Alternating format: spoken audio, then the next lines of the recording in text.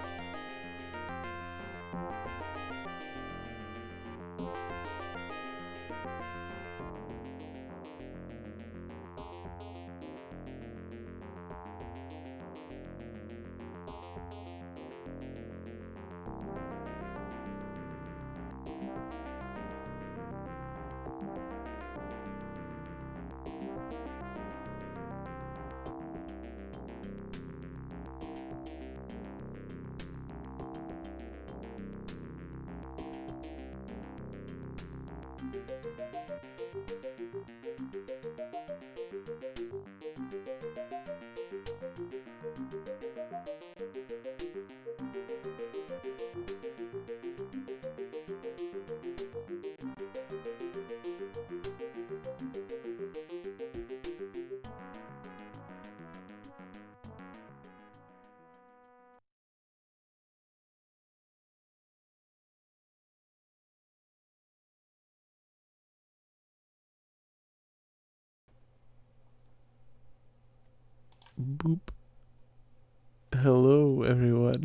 Welcome to the stream. I'm Bogus Speed Factor, but not mute Nick now. Nick, you're unmuted.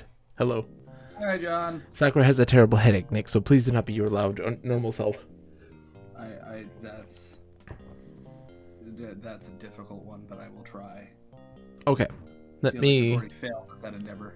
crank you should you up. just lower my levels. I feel like that's the easiest route to success. I had to crank you up a little bit. Hmm. Have, have you have you seen Dragon Moog? Dragon Moog? Oh, let me see your Dragon Moog. Ooh, that's a pretty Dragon Moog. Yeah, that was at the New York Renaissance Festival. Oh, fancy. Yeah. Fancy. I'm I'm just collecting Ren fairs now. Oh, so there you go. But you, wait, eh, you've been to the Michigan one, right? I've been to the Michigan one. I've been to the one in Dayton. You can go. It's fine. You're not naked. Bye. There's wild Sabrina. There's Sabrina. Everyone point at Sabrina and say hi, to Sabrina. Everyone point at her and laugh. Oh, she closed the door. I love you. um, Light of my life. the of Chesterfield here. Sound the trumpet snake. Trumpet sounds quick. Uh, all of my trumpets suck. Mascot, how's it going? Is Sabrina a witch? Mascot wants to know. Uh, yes. Earl of Chesterfield bows with a flourish in the di- direction of Sabrina. Say, there you go. She is magical, and I love her dearly. Audio Eric, how are you? Happy Friday indeed. Earl, it's good to see you. Kuno, how's it going? Kuno. Oh my gosh, it's so nice to see everybody. How are you guys doing tonight? Mascot, hello, Lip, Nick, Earl, hello, Sakura. I am very hair. I need to shave. Holy mother of God. you're looking, you're looking, you're looking rustic, Nick. So do I. I need to shave. Um, looking like the best kind of bread. Earl says it's looking especially fierce this evening. Um, Nick, I have a, an announcement to make. Guess who had their first tabletop RPG experience this evening? In that you've. Was it Roz? So Roz has been reading this book called Fart Quest. It is a, a fantasy uh, book series for kids. It's a novel, um, and it's very humorous and very silly. And uh, she loves it. And in she just got we've been at a library day every Tuesday's library day, and she got the second book in the in the series, and in the back of it, it said. Uh, play the Fart Quest game. And she's like, what? And there's a website. And she's like, I want to, I want to do that. I want to play that game. And she thought it was a video game. And it's like, oh, it's a tabletop game. it's got a map and a little adventure and little player cards and di- you know, you roll your dice and stuff like this. But it's very basic for kids. Um, and she attempted it tonight with uh, Gwendolyn and my wife, Brittany, and uh, they failed. But uh, it's okay That's you. as you do. Um, I had to be the GM, and I had to, to break it to them that they all died because my uh, daughter? That feels irresponsible. Well, here's the thing, right? Um, oh, Sakura's game tonight was canceled. I'm so sorry, Sakura. Um, Sakura says I played AD&D, AD and D first edition when I was her age. Sakura, same. Is Fart Quest as difficult as Pandemic? Not quite. You were a harsh dungeon master. Is this game? Is it a fart master? I wish it was fart master. Um, but the Yeah. thing, the thing was, is that like, there's no way around it because it's a, it's very linear. Like, uh, so you have a map and they have the rooms that they go into and stuff like this, and they have combat. But like, combat is very much like you have this ability, it does this much damage. Typically, that's how it goes. And We the end, that mouse game. yeah. Oh yeah, dude. Fuck. What was that called? Uh, um, Mice and uh, Mice and and Mystics. Mice and Mystics. Yeah. Yeah. Um, that's a lot of fun too. It is. It's kind of like that. It's kind of like that, but a lot simpler. Um, and uh, so the problem was that they actually did something that was. I mean, it still has that tabletop RPG thing of like if you do something stupid, something stupid's gonna happen. And they did something stupid. and uh and it's like there's a it- the game is also like not not well designed so there's lots of if they pick the wrong party members things can like characters that they, they pick things could go awry very easily I mean, it is it is an RPG yeah. based on the Fart Master series. but so she lost and she was really upset about it. But i was like hold on hold on. Like part of the fun is trying again and you can do pick a different party member different party composition and figures things out. It's it's meant to be a challenge. Cannoli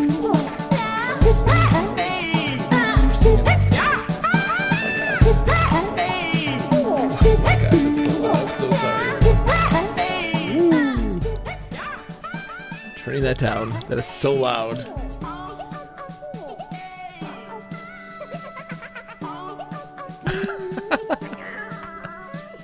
i'm so sorry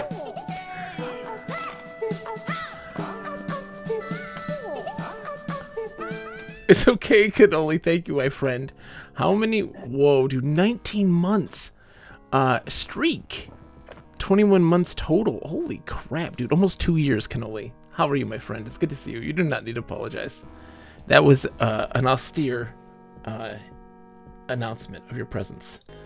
Um, Hardly- so yeah, uh, so it went well though for her overall, and she uh, she she really wants to try again, and like she's really excited about the the idea, and she's really thinking about like oh what characters would go well with who, and and oh she was like well what about these? How much hip health points do these monsters have? And I was like ah you gotta play as this one character who has the ability to uh, read about monsters in their little monster manual, and she's like.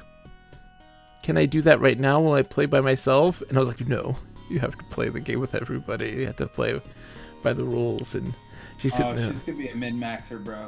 She's gonna be a min maxer. I know. She was asking. I was like, no, no, no, no, no, no. She she's gonna go into every combat already having read the monster manual, Yeah. Yep. and as like a Tarrasque can't do that. Yeah. That's a Tarrasque can do everything. It can't do that. No, and see, that's the thing. I'm just like, ah, bah, bah, bah, bah. But the kids were laughing. I was playing it up. I mean, you know, it's it's really basic. I don't have it much. To, like I just read. I just read what they tell me to read, and um, and it's really basic. But uh, I was just improvising and giving them a hoot and holler, so they were enjoying it a bunch. So yeah, hi Nick. Are you ready to Hi, beat John. this game? I'm having the Nordic Spring. I thought you were just having coffee. What the heck? There's also I, I did you not know that I always mix my stimulants with depressants? You know what always goes pairs so well with booze is coffee. Coffee and booze. Yeah, they go together real well. Hash has beat this game. I know, Hesh. It has, by the way, been a delight, I will say. What do you think, Nick? Have you enjoyed this so far? Yeah, it's been a very good game. And yes, uh, Dogfish is uh, a good beer brand. Uh, the Heechee were not in the Fart Quest. I wish they were. Where are they headed? So we have one more. We have one more location to or to activate, and then we're guessing the final phase of this game because I know that's not going to be the end. Obviously, there's going to be some big culmination against the bad guy because we because because also we have the that that secret place. Do you want to do you want to try to figure out the secret place, that secret location in the in the Just wanted to station Do that one. before we do this in case we might like soft lock ourselves Okay, we can try. because we have time. Like it doesn't look like it's a ticking clock and the place. what's that, Nick? What do we need? What did we need? We need the tuning fork. Okay, how do we get the tuning fork? Well, hold on. We might get the thing for the tuning fork. Does our gun work? No, it doesn't anymore, remember? Yeah. But we haven't had to worry about carrying too much, Nick. Yeah, I've noticed that. There's no real inventory management system.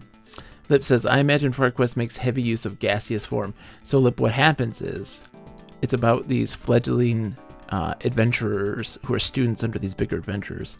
And those bigger adventurers die tragically, and they have to take up the mantle and try to figure out how to survive and be heroes.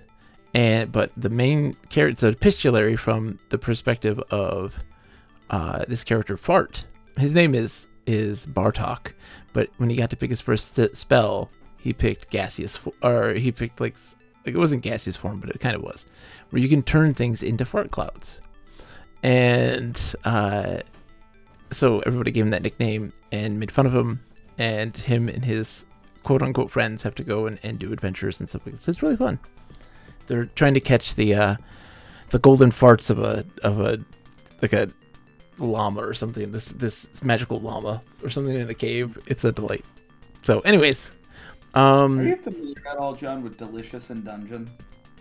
delicious in dungeon. Yeah, No, what is this? it's a manga series. You're a manga Uh, series. where they're in in dungeons and they they they kill things and eat them. I don't know if it'd be appropriate for children. I don't think it's that. There's a lot of violence in it, but there's a lot of like weird monster anatomy and then how to best Cook that. it. Oh, interesting. Yeah, I don't know. We'll see. She has read um the the Zelda um Link to the Past. I think it's Link to the Past. Maybe it was Ocarina of Time. I don't know. I think it's Link to the Past. Uh, like manga. She's read that. Oh, so she should join us in the Literate Pixel podcast. And she read um the the Super Mario Brothers um manga. Way back in the day. It's an oldie, but they translated in English and stuff. There's also a D&D thing for kids. Is there Sakura? I mean, I mean, oh, D&D. Mm, it's fine. Are you ready to play this game, Nick? We can try. Let's try to figure this out. So let's go north. North. Up. South. South. South. Okay, so we have to get this tuning fork because that's going to get us access to um, the secret passageway. If you keep going north, you'll end up going south. You take the tuning fork from the pedestal, the room is filled with the sound of an obnoxious klaxon, and a synthesized voice states, Warning, these exhibits are protected by an optical pattern recognition system. Replace the artifact immediately or you will be placed under arrest. So we need something that looks like a turning fork. Yeah, but there's this other thing over here. Drop tuning, tuning fork does the same thing. Did anyone watch the Dungeons and Dragons cartoon? Audio error. Of course I What? did. Hello? That did not do the right thing. Oh, put uh put tuning fork on display or on shelf or something. Stand. Stand is what you want to do. Oh, hold on. Um pedestal is what it is, pedestal. So put tuning fork on pedestal. Return tuning tuning fuck no. No Sakura. Earl, we were actually talking about the World of Warcraft movie in our Discord recently a lot. Right? I feel like that was in my Discord. Um as the Warcraft movie. Ah, that's what it is. Um Return. I did try return. Oh, return. Oh! what? Doesn't work. Oh, okay. Um so there's the the toaster. Um what is that one? What is that called? What toaster? The thing on the right, what is that thing? There's a on a stand. There's a Heechee device. Look at the device. I know that these two are, are tied together. The strange looking device is about the size and shape of a toaster oven. An opening on one side reveals mirrored interior surfaces. On top of the device is a circular depression about 10 centimeters. Yeah, put the disc in toaster. The device begins to hum and the air above the disc shimmers.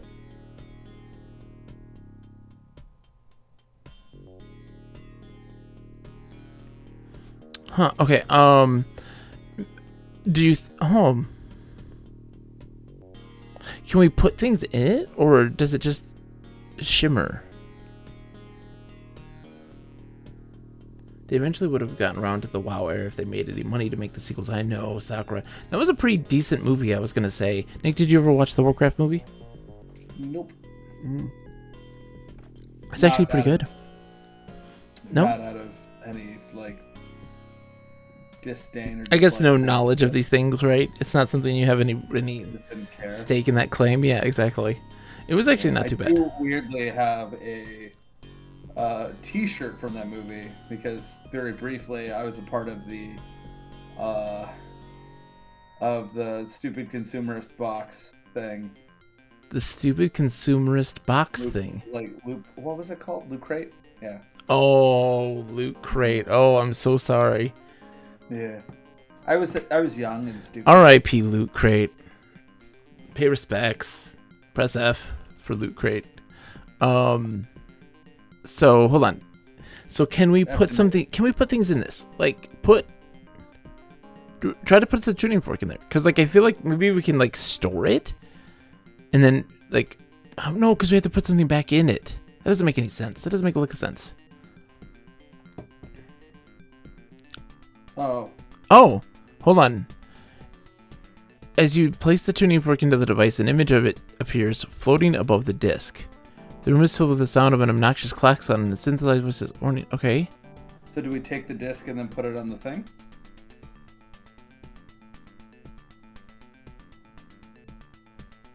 As you remove the disc, the device ceases its humming and the shimmering of the air vanishes. The image of the tuning fork remains floating above the disc.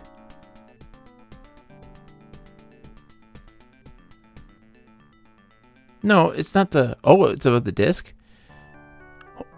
Wait, whoa, whoa, whoa, what was happening there, Nick? You put the hologram on the pedestal. Wait, what? Yeah.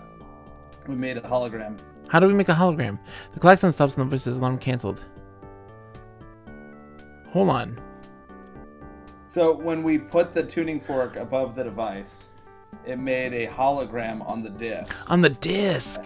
And then we took the disc and we put the disc, Disc on, on the thing. thing. It says it recognizes visuals and visuals alone. You I see. Then take the tuning. Josh Grams, welcome to the stream. It's an absolute pleasure to have you. I How are you doing? also think it's a dumb puzzle. I oh yeah. Did you I don't you like have to say tuning fork or just fork work? Probably fork just works, but we're weird. We we are extemporaneous by nature, right, Nick? Sure. Yes. Welcome to the stream, by the way. It's an absolute pleasure to have you. How are you doing this evening? I'm guessing you're a fan of Text Adventures. Obviously. I mean, you're from you're on the you're on the Discord, right? I think you are. I my brain is right now is just spoiled meat. I will add. It is Fork I'm- does work. I'm doing terrible in my poor brain. Yes, you are. Of course you are. We just had that long conversation about your awesome dream uh dream Also, uh, text adventure. Fork would have worked. What would have worked, Nick? I, I wrote pickup fork, but occasionally I can be rather. Okay.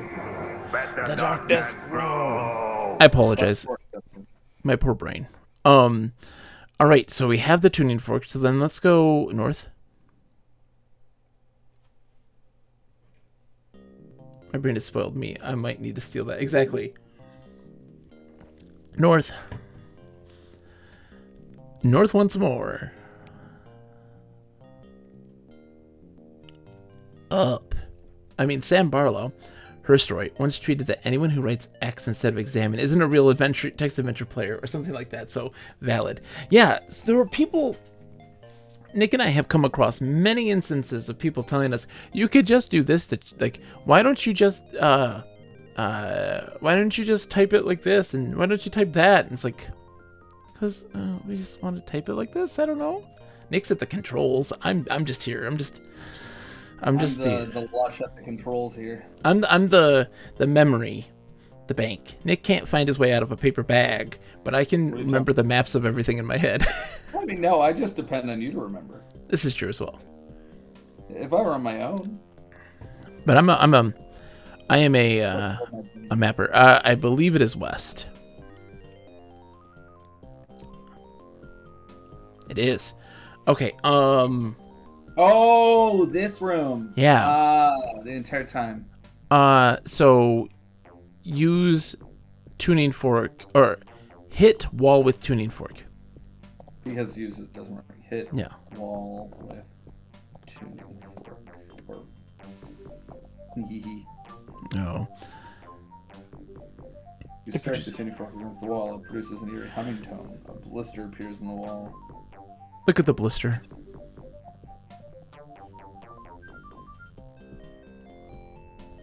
The otherwise flat wall is marred by a light blue blister about a foot in diameter and six inches in depth. Upon closer inspection, you notice that the blister has a rectangular slot with two square holes in the center bit. Insert Insert fork. fork into hole. You insert the turning fork into the slot in the blister. You hear a muted humming noise, and the tuning fork slowly recedes into the slot. A keypad appears above the blister. Okay. Whoa. Oh crap. Um, hold on. Do I have the? Did I write down the number? Oh god, there's a lot of numbers on this piece of paper. That's not my numbers. Is it on here? I We didn't don't- save either, John. Huh? We didn't save. Can we exit? Can you hit escape or something? I don't know if we get the tuning fork back though. The keypad disappears and the tuning fork is ejected from the slot. Retrieve it. Um, we have a piece of paper that a slip of paper. Look at the slip of paper. I'll write this You down. for could just hide and wa- wait for the guy to do it again. No, we have the slip of paper that has the the the code on it. Oh, do we? Yeah, slip of paper. It's on the thing on the left. Yep. He dropped it. Remember? Yeah. Three three, one two one. Okay.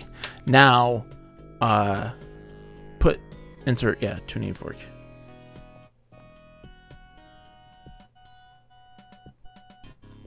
Into holes. There you go. All right. It was three, three, Three three one two one. one, two, one.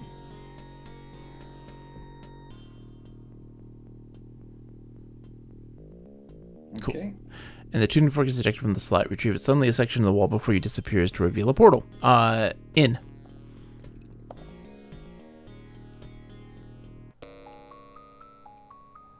Okay. You're in a large room about the size of a high school gymnasium. The room is empty, except for a panel set into the west wall. The portal through which you entered remains open to the east. Um, look at the panel.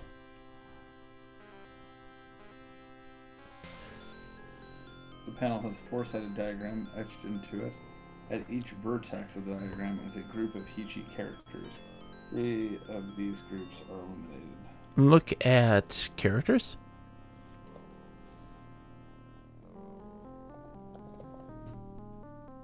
The panel has a four-sided diagram. Okay, it doesn't. Yeah, it doesn't tell us. Um. Oh, I know what this Read it. is. I know this is Nick. We've done three of the four planets. Oh, so we need to do one more. Need to do the other one. That's it. Okay. All right. That's what. So out. Yeah. That's good to know. Okay, so east. Down, down.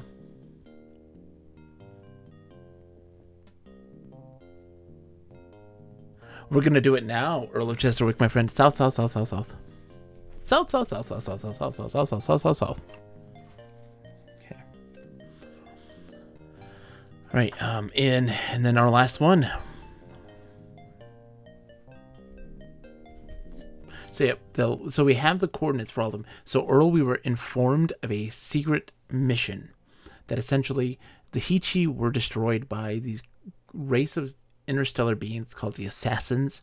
That essentially, as soon as any spacefaring species uh, reaches a certain level of exploration, power, knowledge, etc., etc., it gives off a certain power, you know, radiates a power signal of sorts that identifies them, and then they go out and wipe out that race. And we are on the verge of triggering those assassins. So we learned that the Heechee had a defense system, we're told.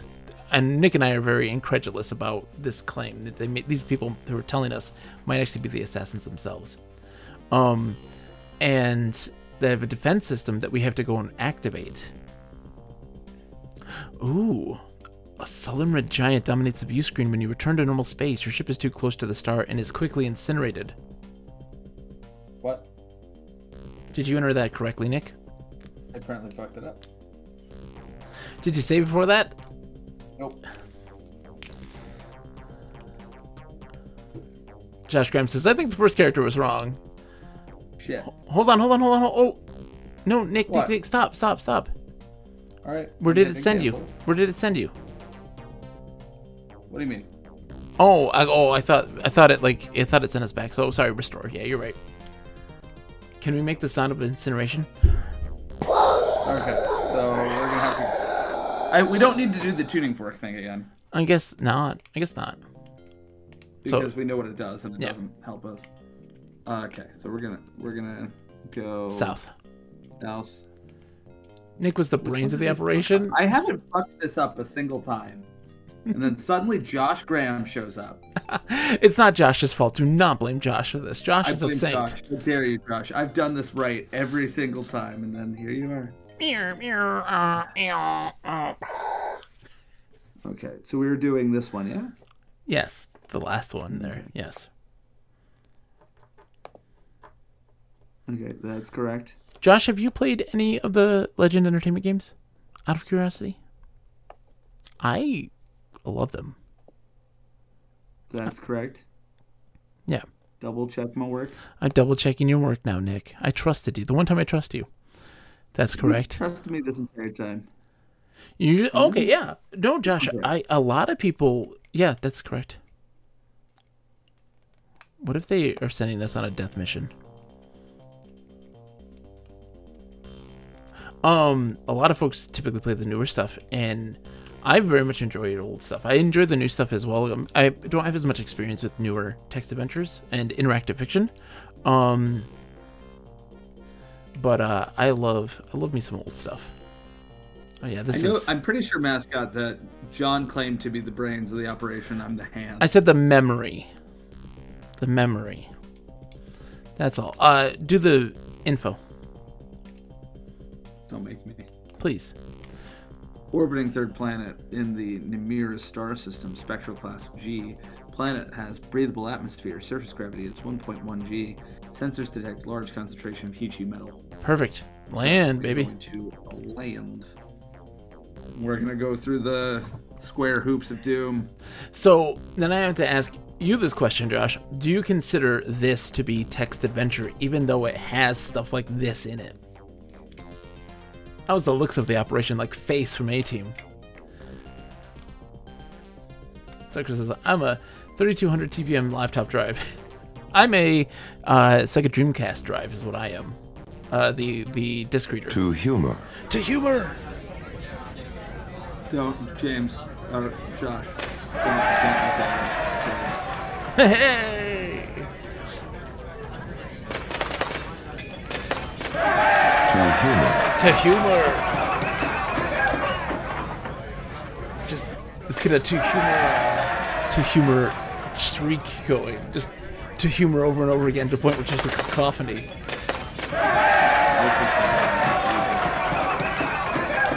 To humor. Yes. Earl, I'm gonna let you know right now that uh, the Heechee, little did you know, invented cheeseburger pizza.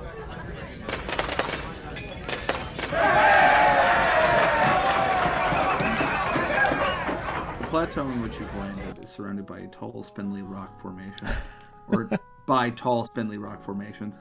Mountain trails lead down to the northeast and west. There is a natural archway to the south through which a ledge is visible.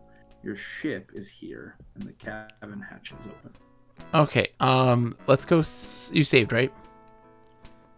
I did. You did? Okay, south. did. South, then I think.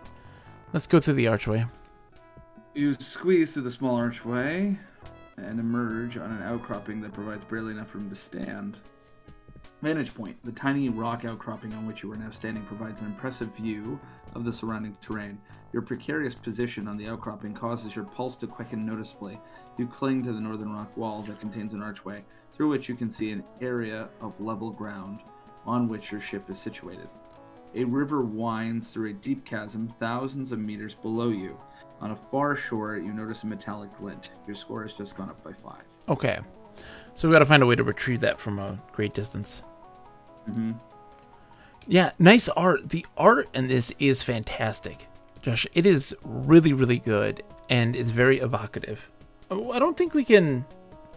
I don't think we have what we need right now. Jump down. Okay, can you just do down? I'm curious.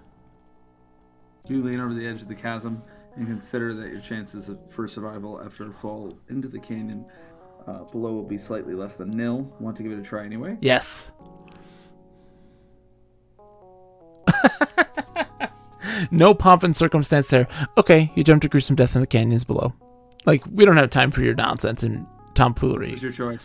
We literally told you, you will probably die. Do you still want to do it? Yes. Okay, you died.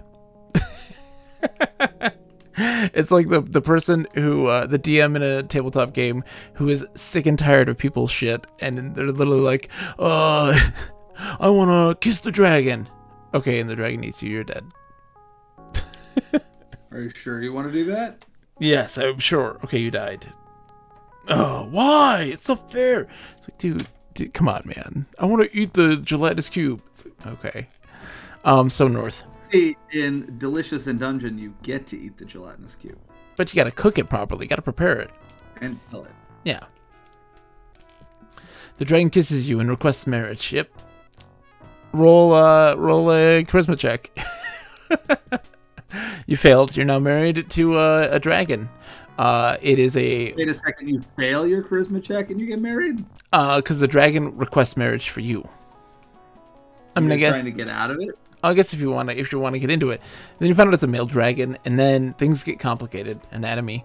Uh, north, please. I'm stupid. I stupid. mean, there's always other options. There's always other options. It's just a lack of imagination, really. Uh, northeast.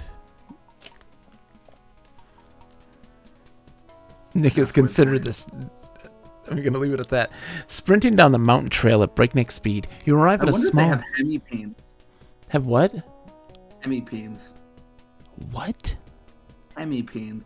What are you? Hemipenes. Hemipenes. Hemipenes. What is that? So snakes. Uh, so the this is a thing I learned recently. The the genes related to uh, leg creation are not entirely un uh, connected to the things that also lead to uh, male genital formation. Um, the hemipene in snakes is a penis Okay. that that does uh, a one of these. It does a one of what, Nick? One one of those. Okay. So you got like a base penis Okay. that then forks. Oh, a forked penis. Okay, this makes sense. Yeah, they got a forked penis. So I'm wondering if dragons have a hemipene. They probably do. They are reptiles, right? Yeah, I'm not sure how common it is in uh, all reptilia. Let's let's look. No, let's not. Hi, Valindras. How are you today? Nick, Nick, stop this. We're not going to find out. If... hemipenis. Oh my god. Oh my god. This is what we're doing. No, this is not what we're doing, Nick. You're going to go. We're going to read this. Sprinting down the mountain trail at breakneck speed. Oh, my it's found in uh, squamates. So Squamates. all lizards. Okay. Oh, good. so yes. So then yes. Well, not all reptiles, but all Oh. squamates. So and uh, snakes are phylogenetically speaking lizards, but without the feet. yeah, and I mean Komodo dragons are lizards, right? Do they have Yeah. hemipenes? Do Komodo dragons have hemipenes? Do Komodo dragons have hemipenes? Because if they do, then dragons do, right? I mean, They do. then there you go. Dragons do. Komodo dragons have hemipenes. I want to see a picture. no, I. Komodo Yo, God. dragons. Hemipene. I'm not going to show anyone. I'm just going to look for me. this, is, this is for my benefit. Ooh, that's gnarly. That's dry. Psychopath. Why is that? Oh, it's got barbs. Yep. Dragons have barbed penises. Double barbed penises. Uh, yes. They got uh, double barbed penis. That's Okay. Can we? Can we please? Please. The more you know. Oh. Can we please? Can we please? Oh, think? Can we please I- continue? the the level you wanna oh you wanna unsee that now okay well guess what nick you spent the last 10 uh the 10 last 10 minutes 10 talking about minutes. it. it's 15 i know It was less than that. i will interest so this is my friend nick we've been friends for a very long time he is my best friend and uh he Almost currently 11 years now. almost 11 years now he lives far away now he used to live here and um and so we We play live even further away. I know. Soon you'll live even further away. Uh, so we'll play text adventures um, together. Uh, Nick, I don't know how that's gonna work. What do you mean? How are we gonna It'll be do this? For me. Will it be? Yeah. I guess you'll be awake longer. Like, I mean, it'll be be- earlier for you. But it's like your schedule. I mean, like, I guess six o'clock. You be you should be home by On six o'clock. Saturday? Yeah, I guess that's true. Um, so that's good then. That makes me happy. Well, it's a Friday today, but don't really. It's Saturday. Also, I won't be on a teacher's schedule anymore. I'll just be doing whatever the fuck I want. I'm taking classes. oh, that's the best. Okay, I'm gonna I read this. Can I- Our old 95. For the love Would of like God, this? I would like to read the halfway point, Nick. Go ahead. Sprinting down the mountain trail at breakneck speed, you arrive at a small level area about half of the way down the mountain. The remainder of the descent looks like it's going to be extremely easy. The halfway point on the steep mountain trail gives you a chance to scan the terrain of the valley below you to the north. Gently rolling desert hills stretch north to more verdant meadows and occasionally stands of trees. One especially large tree is visible far to the northwest. The valley is bound on the east by a deep chasm gouged over the eons by a winding river. About a thousand meters below you to the northeast, you spot the wreckage of a small Heechee ship. It looks like you might have some company. Trails lead away in several directions. There's a pile of rocks on the ground. And look at those piles. Nick, Hot piles. uh, Nick, enough. huh? Enough. What? What did I do? Why are you throwing down freaking Pokemon? Did they have peepings too? Is that was that what you're trying to say? That Pokemon have I didn't peepings? say anything. Why are you reading so much into the text? Sakura's the best. Anyway. uh, It's not right. Look at the, valley rocks. sounded. Yeah, we're gonna look at what now? The rocks. Look at the rock. Oh my gosh. Upon closer inspection, you notice that the pile of rocks is actually a crude cairn pointing southwestward from the halfway point. So go southwest. I like that we got a single Wait, point. that takes us back here. Northeast. Okay. So we got a point for looking at this. northeast. No, we can't go northeast. Um Hold on. So it says where's the where's the ship at? Hold on. Northeast. Oh yeah. Okay. Um Oh, it's to help get us back if we get lost. That's what it does. Okay. All right, so northwest.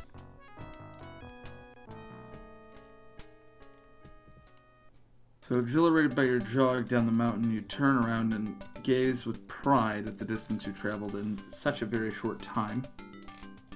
The mountain trail rises steeply to the southeast up the side of the mountain. Other less traveled trails lead off toward the northwest and northwest. An old man with wiry beard looks like he's been waiting for you at the trailhead. As you approach, energetic conjurer walks up to you and introduces himself. Howdy, stranger. The name's Becker. Becker. The old man extends his right arm toward you in greeting. Do you know who Is this is? The guy who went missing? Yes. He was the prospector. He was the prospector who went missing who made like the most money ever. Yeah, yeah. Um Oh, shake his hand. Shake hand. No, it's not gonna work that. Just shake hand. Shake hand, Nick. You're overcomplicating this. The the purser. Well met, says Becker. Maybe you're okay. I've sort of had my fill of people and wasn't looking for company. But if you've got a mind to hang around here, the least I can do is be a friendly host. Becker pauses, studying you for a moment. Let me tell you a little bit about myself. Listen, baby. He's droning on with his life story. I came here as a young and very successful pilot. By the uh, time I was 35, I'd flown just about every kind of ship and mission imaginable.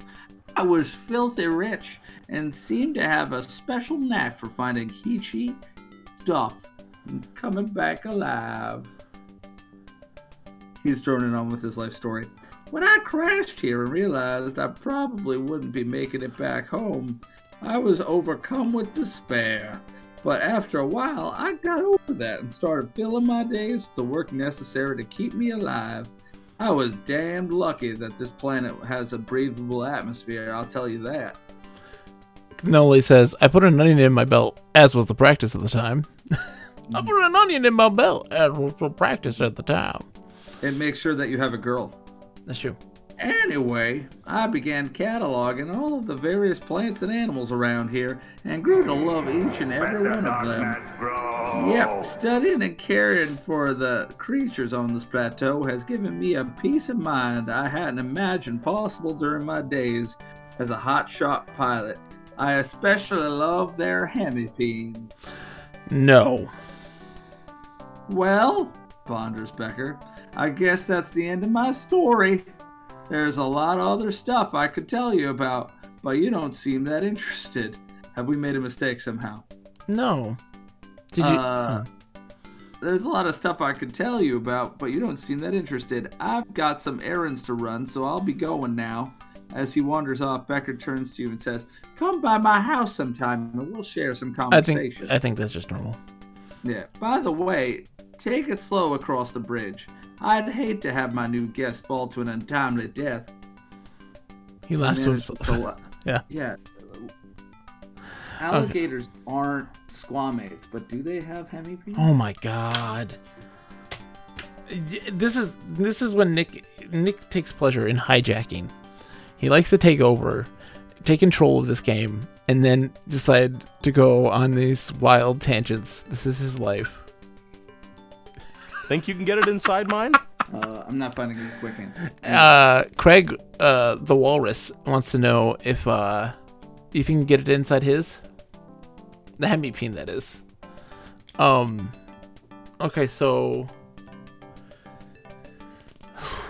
what did we do? We did northwest, right? So southeast would take us back. Um, so go north. Oh, a meadow. A small, desolate meadow is home to a large elm tree. One especially long branch extends out from the tree's trunk.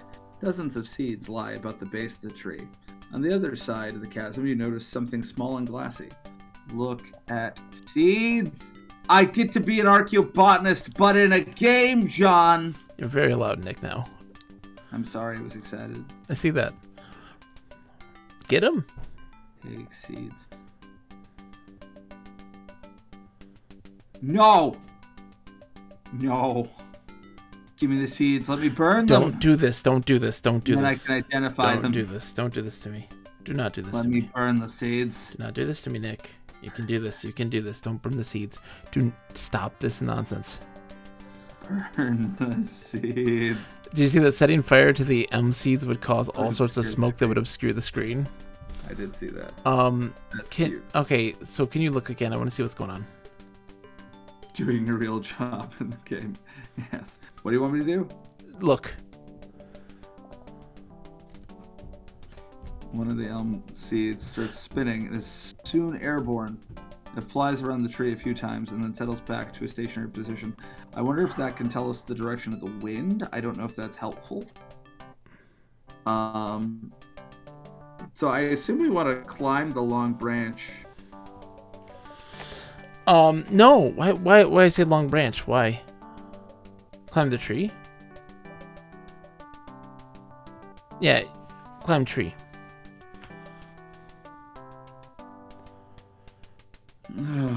Okay, so go north.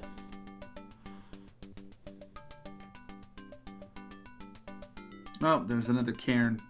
I wouldn't call this a cairn in that like it's just a pile of stones pointing in a direction. Yeah. Typically, cairns are like markers for graves. Um.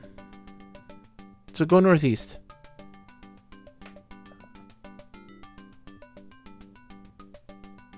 Oh. Okay, scramble up the mountain trail to the northeast and quite breathless come again to a level to level ground far above the desert valley.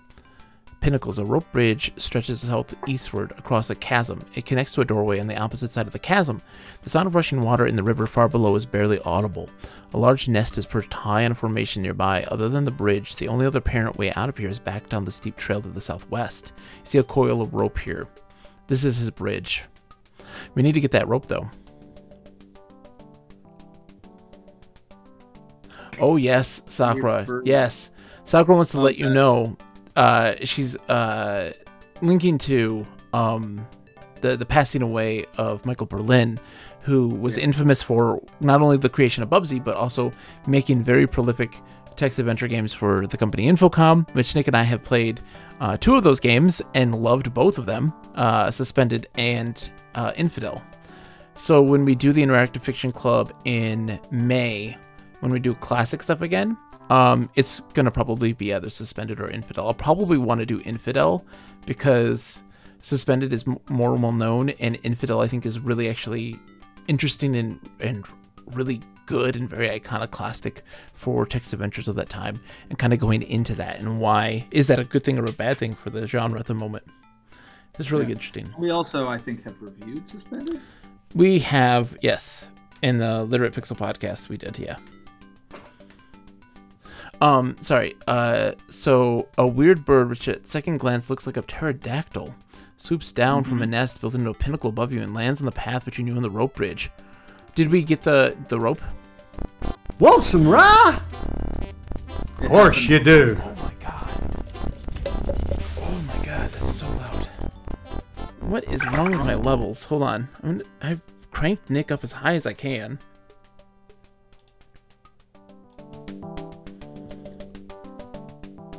I love saying that in WoW. Want some rye? Of course you do. Oh, of course. Of course you do. Um. So, uh, okay. Uh, get the get the rope.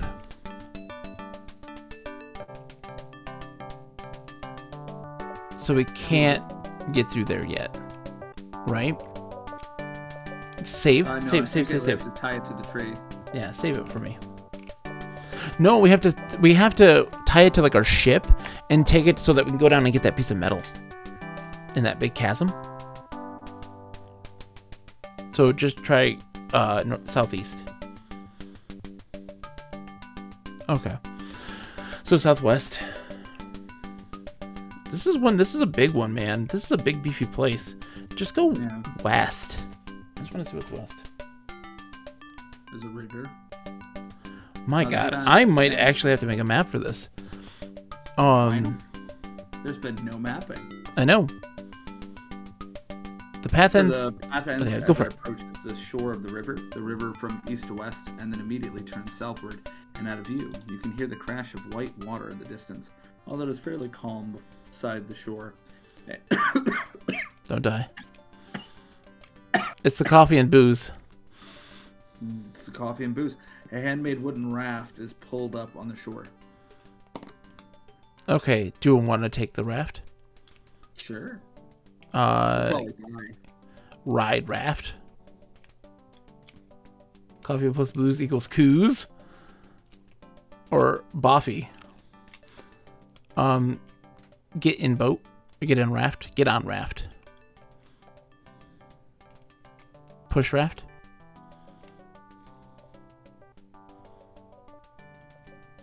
Launch it. There we go. Thank you, Gabe. Launch raft.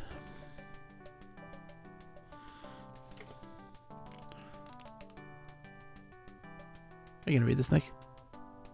Uh, yes, with the strong shove, you push the raft off into the uh, strong current of the river. The raft starts to take on water. A moment later, the raft is sunk below the surface of the water. You drag it back to the shore and dry yourself off. Okay. So then go south. South. Kit garden. Ooh, hello. And there's a rope. ladder. Yeah. So row upon row of potted plants are arranged here in the moderate shade of the tree above. Many varieties of flora are being grown. One plant with long palm-shaped leaves gives off a pleasing aroma. A metal pail catches your eye. A ceramic kiln has been constructed beside the garden and is radiating extreme heat. A handmade shovel is on the ground behind you. A huge tree towers directly above you, and a rope ladder hangs down from a treehouse built in the tree's lower branches. You see a table here. Look at the table. Okay. There's like a lot of information. There's a lot. Um, a metal Wow. pail is probably the big one, but uh, no, no, not go up yet. Why, why would you leave this room? look at look at the table. Uh, oh, the pail too. That too. Get it? Can you get the get it? Get pail. Okay. You take the metal pail from Becker's tidy garden and dump the plant in it onto the ground. Ooh. I don't know how I feel about that. Uh, look at the table.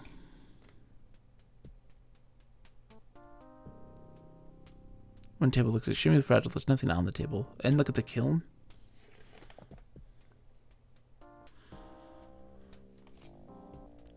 The kiln is of ceramic construction and doesn't look all that sturdy. It's been built over a natural vent from the planet's interior. You can feel intense heat radiating from the top of it. There was a handmade shovel on the ground behind you. Get the shovel. That's the big one. Chevrolet. Up.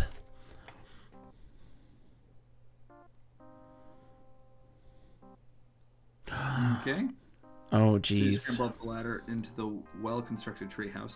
The interior of the makeshift fortress is extremely tidy and Spartan.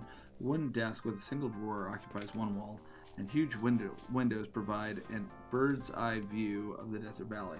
You see an axe and a wooden desk here. On the wooden desk, you see a field notebook. There's a. Oh, boy.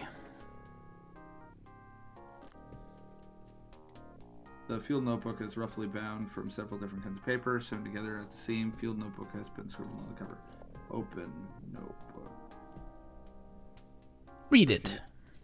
Read. Read the notebook. Yeah, you got it.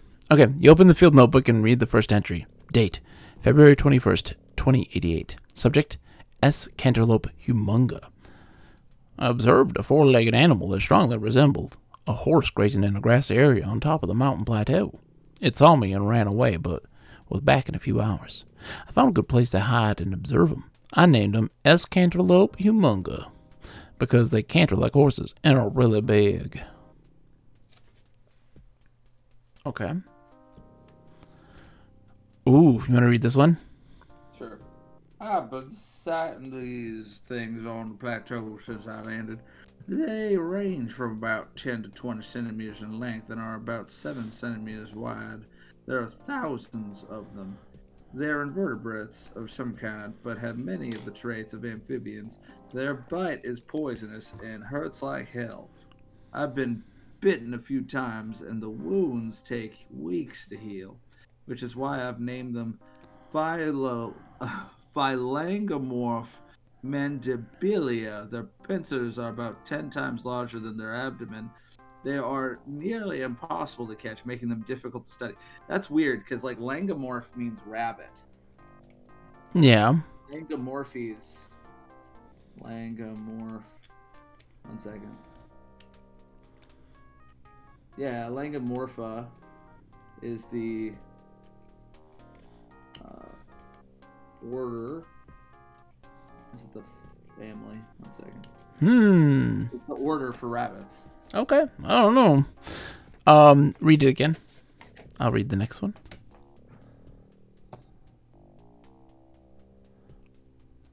The next several pages contain a comparative analysis of the migratory behavior of Gyranthamus swoopa. You stop flipping pages at an interesting entry on page 18.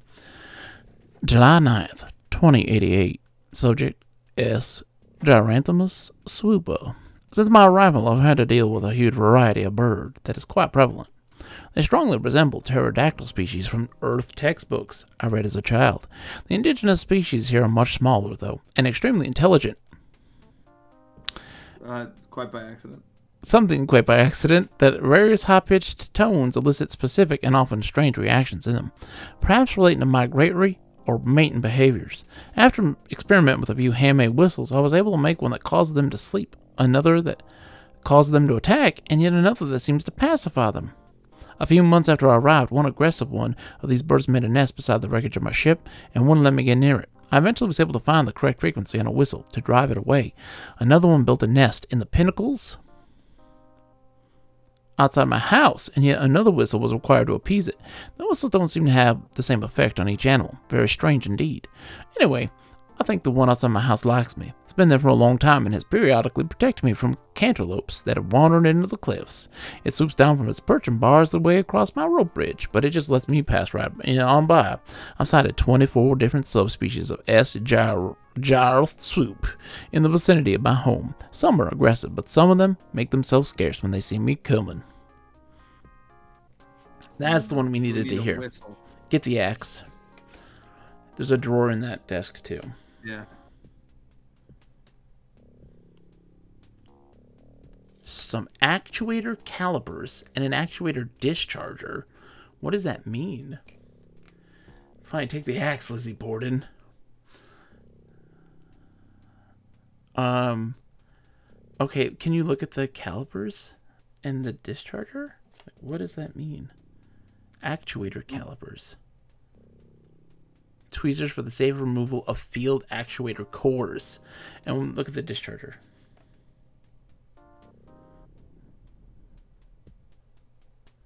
The actuator discharger is a small metal box with two clips connected on it. To it, one clip is gray and the other is blue. So this is good, Nick. One of the things that I very much enjoy also is that like actuator calipers. You're like, what the hell is that? And then you look at it and it explains its function to you because it's like, oh, you you as the character would know what this is. Have a good night, Sakura, and I hope you feel better. I hope you feel better. Get some rest. Sakura, I feel better. Um. All right. So go north. Yeah, I should be mapping this. Oh, that's the river shore. Okay, go south again. So hold on. I'm gonna get a fresh piece of paper. All right. So hold on. Garden. North is North Shore. Raft. Okay. Um, go northeast.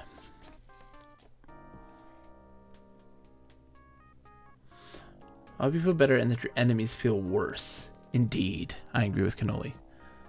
So, Cliff Trailhead. Hold on. If you go west, does it take us to the to the shore?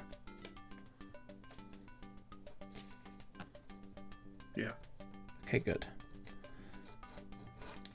Pinnacles. Is that a holdover from Zork? No, that's just my brain. I'm just, I, yeah, I'm just making sure everything connects properly. Um, okay, go east.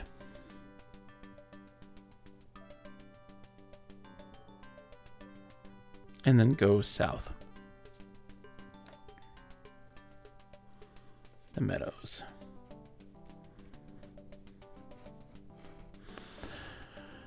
That's right. So the shiny thing is on the other side of this, right? So um then go uh southwest. River Trailhead. It looks like yeah, everything is connected properly. Um hold on. So hold on. We yeah, we haven't we haven't we didn't read any of this. We've never been here before. Um Okay, look at the rocks. River Trailhead. You've reached a junction of several trails beside the chasm to the west. The chasm is not quite as deep as it appeared from the mountain plateau that you landed on. Looking back to the east, the trail t- makes its way back to the mountain trailhead. To the north and northeast lie the desert valley. A small trail he- leads up into the southwest, disappearing behind the rock formation. So let's go um northwest. I know the southwest they said that, but oh look at the rock pile. Look at the rock pile first. Look at the rock pile. Duh.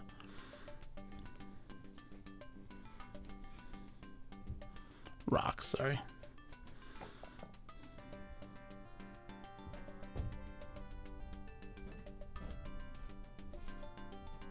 Southwest? Okay, so let's go south. Let's go southwest. Let's, let's see what southwest. River So this hike was much more difficult than it was origi- uh, than it originally looked. Sweaty and aching, you struggled to the cliff top overlook. The view from the river overlook is a panoramic view of the river chasm running from north to south, slightly to the west of the overlook. From here, it is clear that the river turns eastward toward the mountain plateau as it passes beneath you and toward the south. The ground is composed entirely of solid rock. You see a strange bush here. Let's look at that bush. Bush. The bush reminds you of a creasy Creosote. creosote. Creosote. it. A funny fly Funny swatter shape swatter. Yeah, okay, so um you can't you can't do that. One, we're not allowed to disturb the flora and the fauna. Oh my gosh. Uh look down. Or look into the ravine. Look at ravine? Okay, that's not it. Um, look at chasm. It's deep chasm.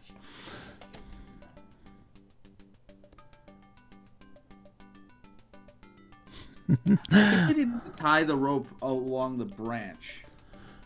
Just well, let's continue our exploration first. We need to gather up all our tools first, Nick. Remember, remember this. We got to scout our area out. How's it going, by the way, Isaac? Isaac says if I've learned anything, looking too closely at strange bushes is generally a bad idea. Um, it's true. Northeast, Nick. Back to the river. So I'm curious on why this is so important. Um, so go northwest now for me, please. How are you doing today, Isaac? I hope you're doing well, my friend. Um, Selecting the northwestward trail from here, you slowly ascend the trail via long switchbacks, winding slowly up the mountain. You eventually reach a plateau with several trails meet. After some thought, you proceed northwestward for a while, realize you're headed away from the river, and return to the crossroads. So I think the Karen's just point in the direction of the river. no, um, maybe. Let's go south, please. Okay. That just heads right back. Mm. All right, uh, southeast. I just want to know where everything leads me. Okay, so yeah. Um, all right, then go east. Uh, IW42 says, I'm not too bad. Just got done integrating old and new tech. My Tesla now has a ham radio. Oh, you finally got that accomplished. GG, man. All right, so Mountain Trailhead. This is where we met. What's his nuts? Mhm. All right, uh, go. Uh, so if we go northwest, I want to see where that takes us. Takes to the garden. Okay, it goes where it's supposed to. Good. We're mapping things correctly. All right, so go east. What was that? Go east. It'll take us to the meadow, Mm-hmm. and then from there we go north. Okay, we got a bunch we haven't seen here yet. Um, can you go north? Okay, northwest. I'm just double checking. Okay, east and southeast.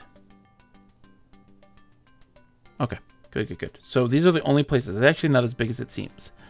Um, all right, so go south to the meadow. I think you're you might be right, Nick, or something. Let's see.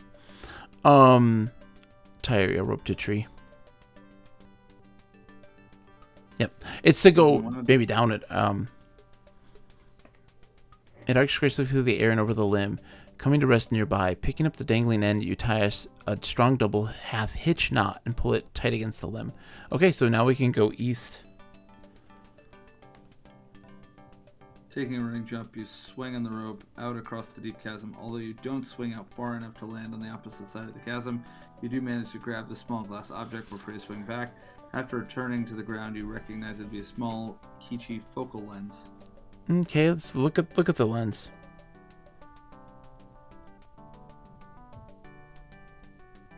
It's in your possession. Okay, it doesn't tell us much anything. All right, we don't have can this. Find it at the pterodactyl.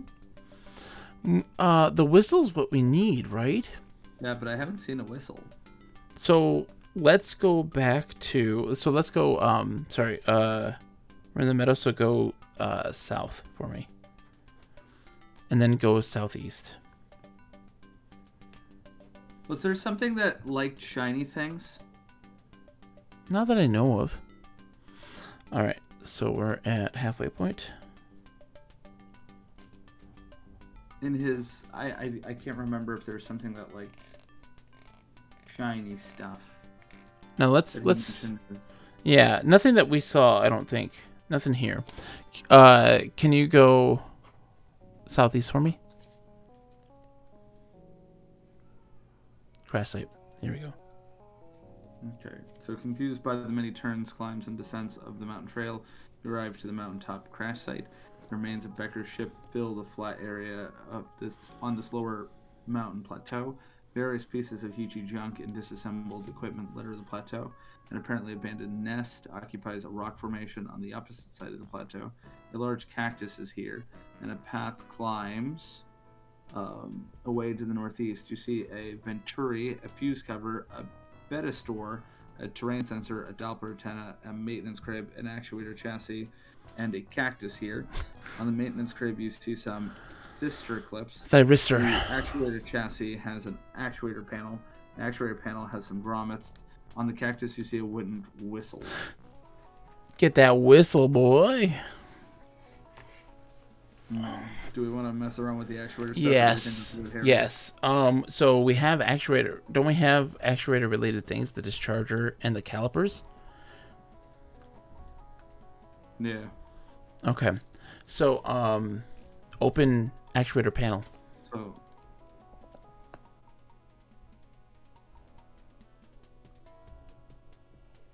Oh, the grommets. What's a grommet? uh, Hi, Gwendolyn. Is mom up in bed already? uh, the opposite of a Wallace. Get up to bed, kiddo. Okay. Oh, Bonded Love you. cheese. oh. It's like a washer Okay. Love you. Is mom in bed already? Go sit with mama then. Okay. What's a grommet, Nick? It's like a, a washer, also Oh, a- okay. a dog. Oh, okay. What's a good dog? too. Cheese, grommet. Hey, I love you. Go see mama. Okay. Love you. Good night. Oh, she's having a bad day. You want me to help you? Okay, I'm gonna go help her. I'll be right back, Nick. You entertain people. You do things. Oh, I'm bad at that. With...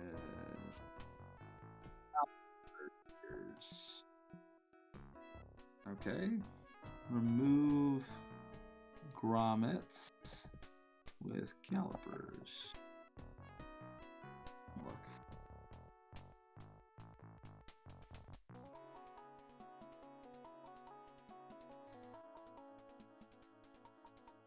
So we have an abandoned nest.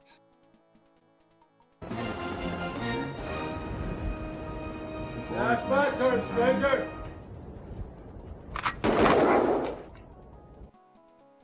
Oh, I should probably. Thank you for the follow, Roger Twelve. Nick, you're you're on autopilot. Go for this. I gotta go get my youngest back to sleep. So you entertain people and play the game. I, I will attempt to. Uh, so we're gonna look at beta store.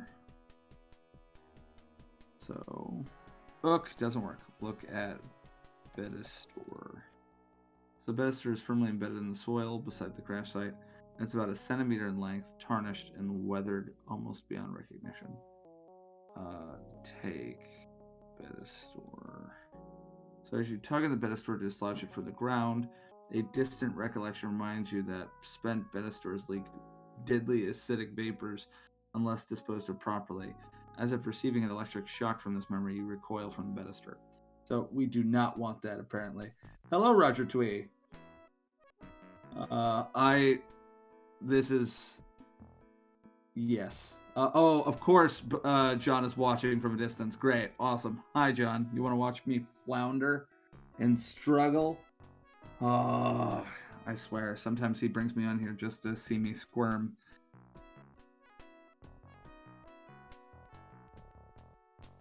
Yeah, sure, John. Uh huh. Yeah, just being a good dad. I don't. Whatever. Uh, okay, so we see a Venturi. Have we attempted the Venturi? So, uh, take or get Venturi. Okay, so that's welded. Look at fuse cover. Open fuse cover. Cool. Excellent. There's no need to squirm. Is there a snack? No, that's just some twisted metal, I think. I wish there were snack. Um, an actuator chassis and a cactus. Look at maintenance crib.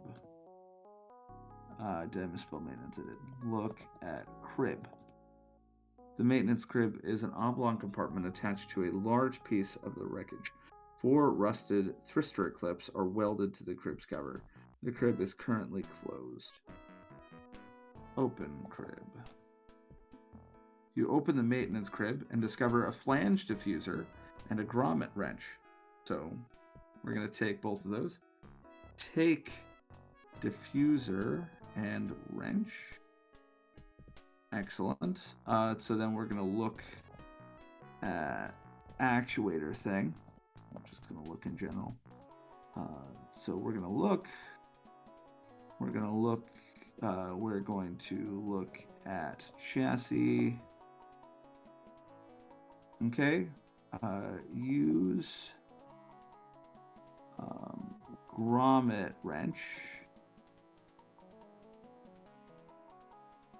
on not use.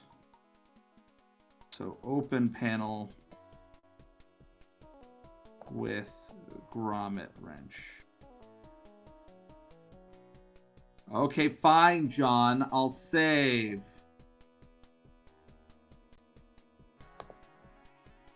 Bogus is a coward.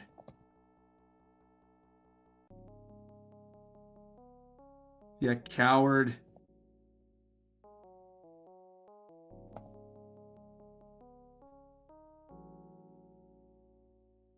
Okay. So we're gonna open chassis, uh, open panel with grommet wrench.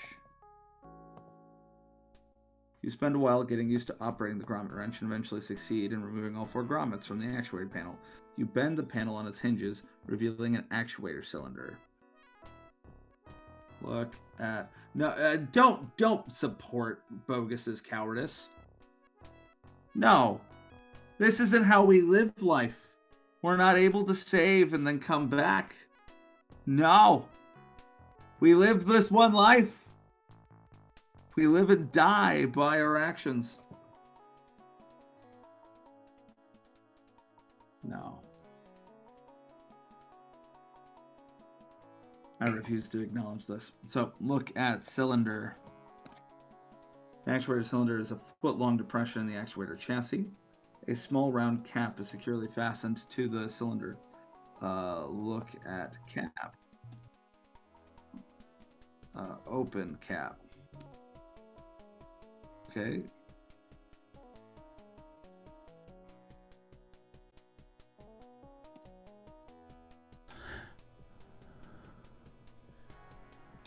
Shoot cap. Hi, Nick. I'm back. Hello, everyone. So sorry for the delay there. Sorry. Being a dad comes first. Whoa, whoa, that's the thing. That was my phone there, so that's in the stream. Such a pleasure to have you. So much. It means the world to me. I'm glad you're able to come in, uh, Roger Tweet. It's such a pleasure to have you. Um, I'm, are you a fan of Text Adventures? What have you played? What do you like?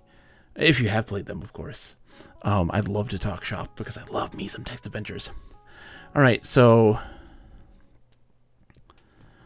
with minor. Okay. Okay, so we're unscrewing the cap from the actuator and revealing a field actuator. Okay, so we got to use the calipers, and we got to put them into the discharger, right? Uh, I don't know. Or use the discharger on it first before using the calipers? Uh, let's look at the field actuator. Yeah, let's do that first. The field actuator is a rectangular platform containing an actuator can- canister. The canister is covered by a black metal flange connector mounted to a housing that is welded to the actuator plant. I don't like this puzzle. This is complicated. This is a write things down. I think that it's complicated. It's sort of like you just like get the thing, then you use you get the key, and then you use the key to open the lock, and the key is literally right there. Yeah. Like all the stuff so far we're using on one end of the actuator is a red plug with two small anodes. Okay, and and so we gotta we gotta plug uh, to put the plug discharge into red plug because it's blue. I think. Plug discharge. What was it called? The discharge Discharger. Just put discharger. charger in red plug. Okay. Um you can't plug the Okay, so plug discharger into actuator? Okay, no. Um What's the thyristor clips again? Like we have whoa, there's so much here. You you did these steps and now I, do, I don't know where we are in this things. So what did You were there. I wasn't really. I was not paying attention. I was. I was getting my youngest to sleep. Um. Okay. There's a whole lot of stuff. Okay, so the actuator plug has a pyramid anode and a tetrahedron anode. Mm-hmm. What are anodes? What is what is all of these words? So an anode is the opposite of a cathode. okay. Telesia, how are you, my friend? Is the positively charged electrode, where the cathode is the negatively charged. Uh, no. Wait, the positive is a cathode? What? Okay. One second. So, an anode is an electrode of a polarized electrical device through which conventional current enters the device.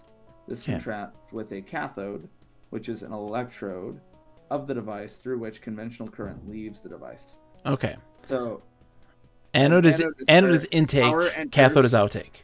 Okay. yes. Okay, look at our okay. So look at our distributor. Now Josh Grams Graham says to check our tools to look at our tools again, and that gives us helpful descriptions. Yeah. So we have some.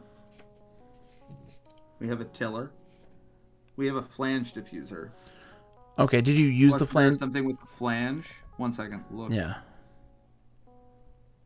Okay. So you see some grommets, a fuse cover, uh, a Doppler antenna. On the maintenance crib, you see some thyristor clips. In the actuator chassis, you can see an actuator cylinder. The actuator chassis has an actuator panel. In the actuator cylinder, you see a field actuator. On the field actuator, you see a flange housing. And okay, so use flange. What was it? Flange something? Um, hold on. So flange connector. What's our look at our inventory again? I can tell you. Flange diffuser. Okay, so use flange diffuser on flange.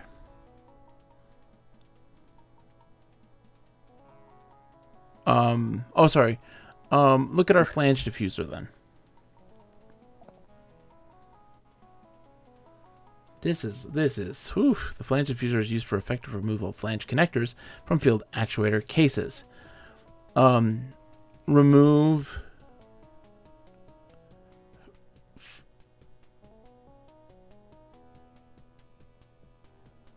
Hold on, no, no, it's flange connector. Right? Yeah.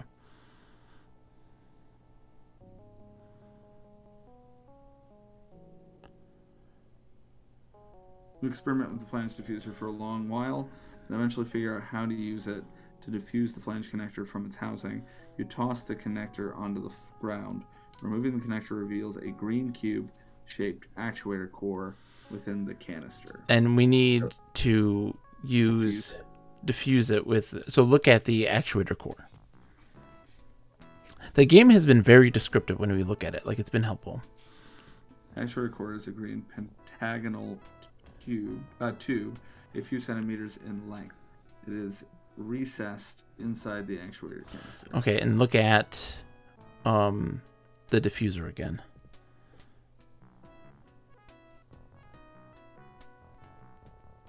Oh that's the flange diffuser. Sorry it's um I oh hold on. Um okay so flange diffuser grommet wrench focal lens a tiller an axe actuator calipers actuator discharger. Yeah look at the discharger The actuator discharger is a small metal box with two clips connected to it. One clip is gray and the other is blue. okay So I don't think we need to. Save first. Save. Let's save here. And then we can use the calipers to get the core and just see what that does. Bogus is a coward. You can still. continue me being a coward. Yeah, absolutely. I'll I'll take that for the team.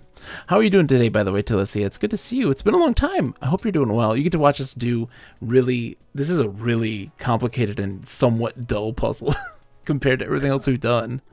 Because there's also not a lot of visualization to this either, which makes it really tough. Well, I don't. I don't like it because I feel like it's mostly just find the word that matches the other word. yeah, and there's a lot of We need words. The diffuser to diffuse the thing that has fuse in its name or something like that. tried doing nail stamping today. What is nail stamping? Like, like, like painting nails with stamps or or uh, uh I don't I actually have no idea what nail stamping would be. Nick, what would nail stamping be? What do you think nail stamping is, Nick? Go. Um, stamping a metal nail. What does that mean? I'm not looking it up. Oh my Oh, god. that makes sense. What? I mean, it's your nail. It's a human nail. Yes. Take a little thingy and apply paint to it and press a stamp to it and then stamp on your pinky. Oh, okay. See, I was I was right then. My assumption was right. That's good. All right. So, all right, Nick, did you save? You saved? Okay. So we need to. uh Jesus, you really are a coward, sir. Yeah, we are. Um. Okay, do more. So. Uh. Get actuator calendar. Take take core with calipers. What core? The actuator core. It's weird and not as easy as it looks, but results are better than I could do by hand. Oh, see, that's what fantastic then. See.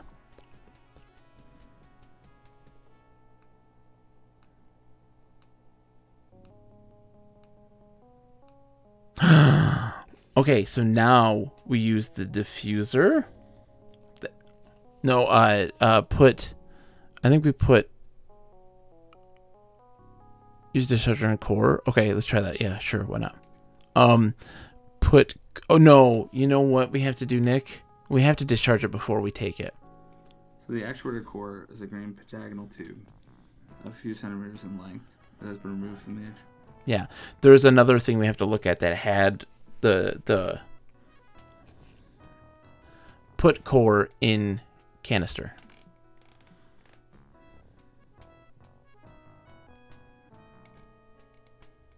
Oh no, it's gonna blow up no matter what. This is why we saved. This is why we saved. Can we blow up? Just wait. Let it let it explode.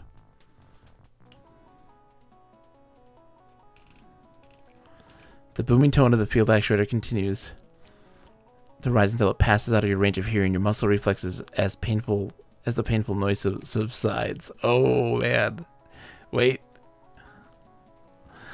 A blinding light and a wall of superheated air flatten you. In a brief instant, you and your environs are reduced to smoldering ash. So yeah, let's restore. We can do an undo in that actually. It had an undo. That's fine. All right. Um. So okay, we have a lot to look at here. Um, keep moving. Hmm? The the more is what's important here. Um. Okay. we've So opened the panel. yes. Uh, Actuator chassis has- You see a field actuator. On the field actuator, you see a flange housing. We've opened An actuator plug and an actuator cancel at the plug. Look at plug. Small red actuator plug has two anodes extending from it. One has a symbol on it resembling a pyramid. The other and it has a tetrahedron. Now let's take a look at our Look inventory at again. Discharger. So the discharger is a small metal box with two clips attached to it. Look at Oh, gray clip. okay. Okay. So clip the gray clip on. Let's just right. Put gray clip, clip gray clip on pyramid.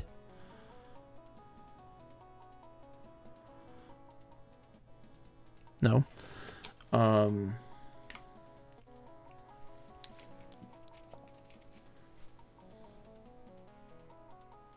As the gray clip and pyramid anode make contact, a spark flies, and a low rumbling sound comes from. Oh, so okay, so it's the other one. undo, yeah. Is there an undo? Uh, yeah. Let's see. Did that actually work? Whoa. Um. Okay, so look at the, uh, the actuator plug again. The tetrahedron.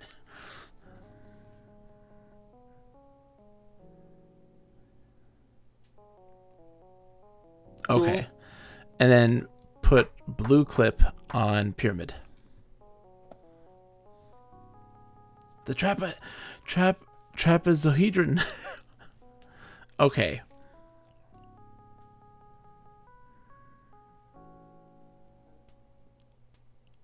Okay.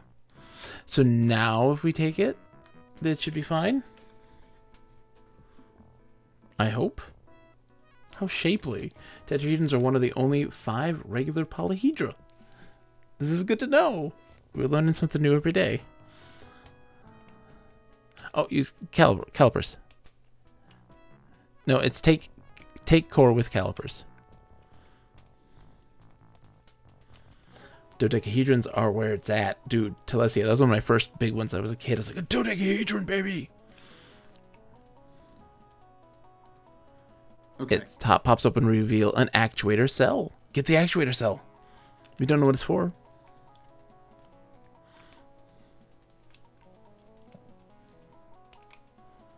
Boom! Puzzle done. Puzzle done. Get out of Dodge, Northwest. Get the fuck out of here. Northwest. Yeah, Northwest. I have a box of 40 on on them on my desk. Ooh. Never managed to sell all my die charms I made. Oh. Okay. So North Okay, so now go south for me. Go south. Okay. That's fine. Um go west for me. Okay. Nothing. So go uh northwest then. And we go north to the meadow and north once more to the cliff trail. Then we go northeast. Blow whistle. Do we have a whistle? Yes. Yeah. We have to hope that this doesn't make him horny. You would like that to make us too. Go west, life is peaceful there. oh, and putting the whistle to your mouth, you play a long shrill note with the wooden whistle. The Gyranthamus immediately takes to the air and lands in the nest high above you. So now go southeast. You make your way cautiously under the bridge. This Um, way is Disneyland. You slowly make the treacherous crossing. Do you want to read Becker's house? Sure. Becker's house is a cavernous room built inside the top of a rocky pinnacle. A large Heechee column extends from the ceiling to the floor with a disc-shaped self ex- shelf extending from its at waist. A large Heechee column extends from the ceiling to the floor with a disc-shaped shelf extending from it at waist level. It was hard to say. There's a small control panel on the shelf covered by a small handmade mattress on which a dinosaur is sprawled. On second glance, you decide that the animal looks a lot like a small version of a Tyrannosaurus rex. A small housing underneath the panel is open, revealing a tray for a focal lens, a socket for a lens cover, and a slot for an actuator cell. Becker is lounging on a large mattress lying nearby on the floor. Beside it is a personal log. A closed door is set into one wall, and a wooden stand occupies a corner beside a strange blue machine. Becker notices you coming in his front door and says, So you found it, did you? Come on in and have a look around. Um, okay. Uh, look at the dinosaur. Oh, look at that dino. I need more water. The Tyrannosaurus is a fierce looking miniature Tyrannosaurus Rex with an imperceptibly small horn. It is standing on the small mat, perched precariously atop the shield control panel. Okay, look at the blue machine.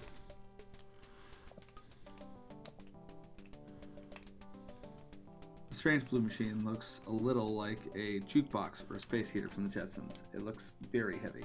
Ask Becker about blue machine.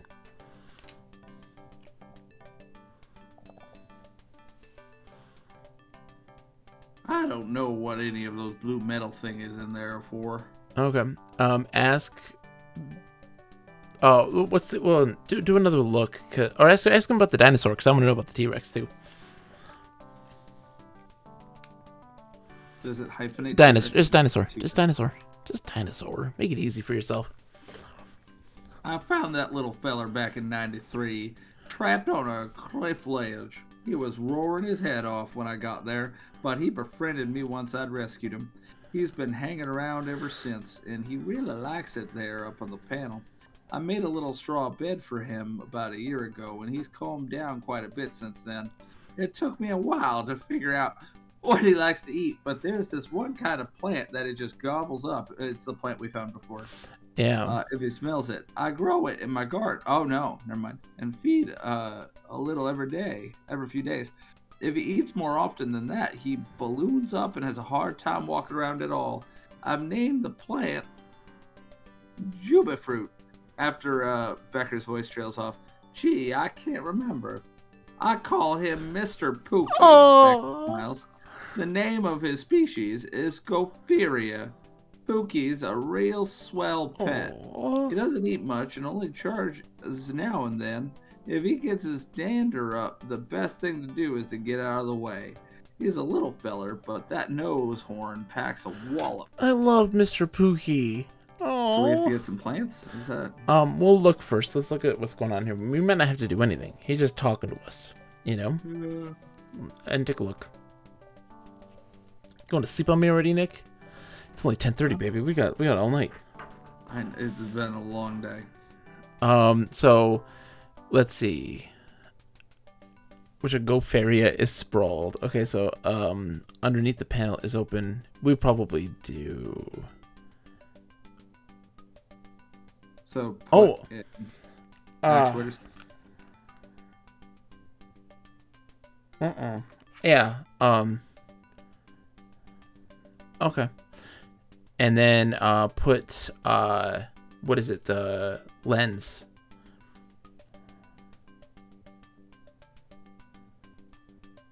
do we have the cover? I think. uh, hold on. So it says. Hold on. Look at look at the thing. I think there actually is a cover already, and we just have to put the cover on it. Look for me. Um, a small housing underneath the panel is open, revealing a focal lens, a socket for a lens cover. Oh, okay. So we do need a lens cover, which is. Oh, I know what that is. That's the thing on the edge by our ship. By our ship. Uh, I don't know how to get it though. Okay. Look, uh, sorry, we're not we're already looking. Hold on. Um, Becker's lounging on a large mattress laying nearby on the floor. Personal log. A closed door is set into one wall. Can oh um, ask him about the door.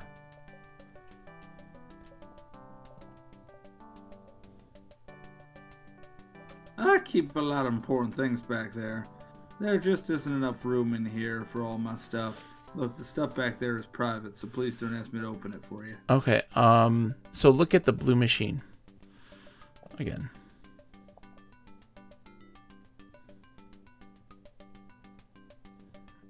Hmm. Okay, so that doesn't have much going for it. Um.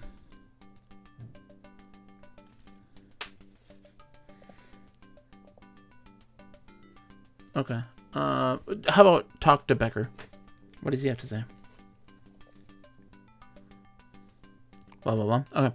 Um, look at log. Read log. Sorry, read log.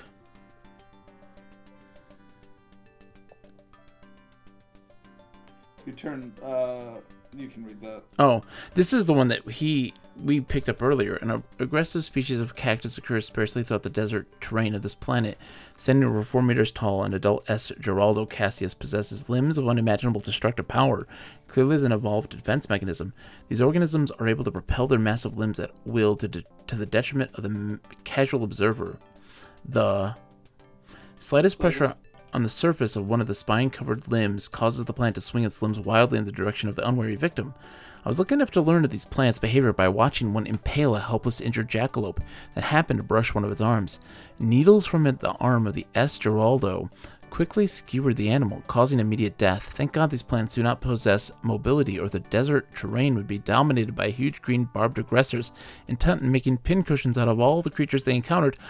I know what we have to do with the, the uh, boat, Nick. I was thinking about this while I was reading this. Do you want to know why it sank? Why? We have all this shit on us. Oh. Although, sorry, um, although fierce and deadly, the plants do not seem to possess any reasoning ability, and I've often amused myself by throwing things at them from a safe distance. The arms wave violently in all directions for a moment, and soon resume their seemingly harmless frozen pose. We have to throw something at that plant. I don't know if we necessarily need to, but we're going to see what's going on. So I'm going to try to go northwest.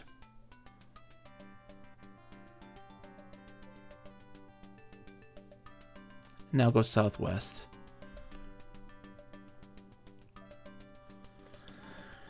Then we go west. Uh, Josh, we do not have the lens cover. And we're, that's what we're getting next. So I want you to save here and then drop all.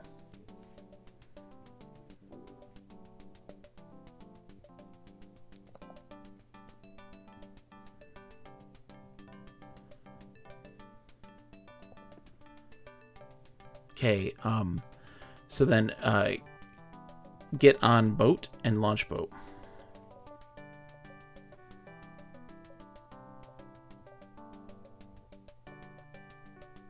It didn't do it. Okay, so it's still sunk. Have a wonderful night, Earl. It is an awesome pleasure. I sincerely hope that you find more seeds. Fingers crossed. Um,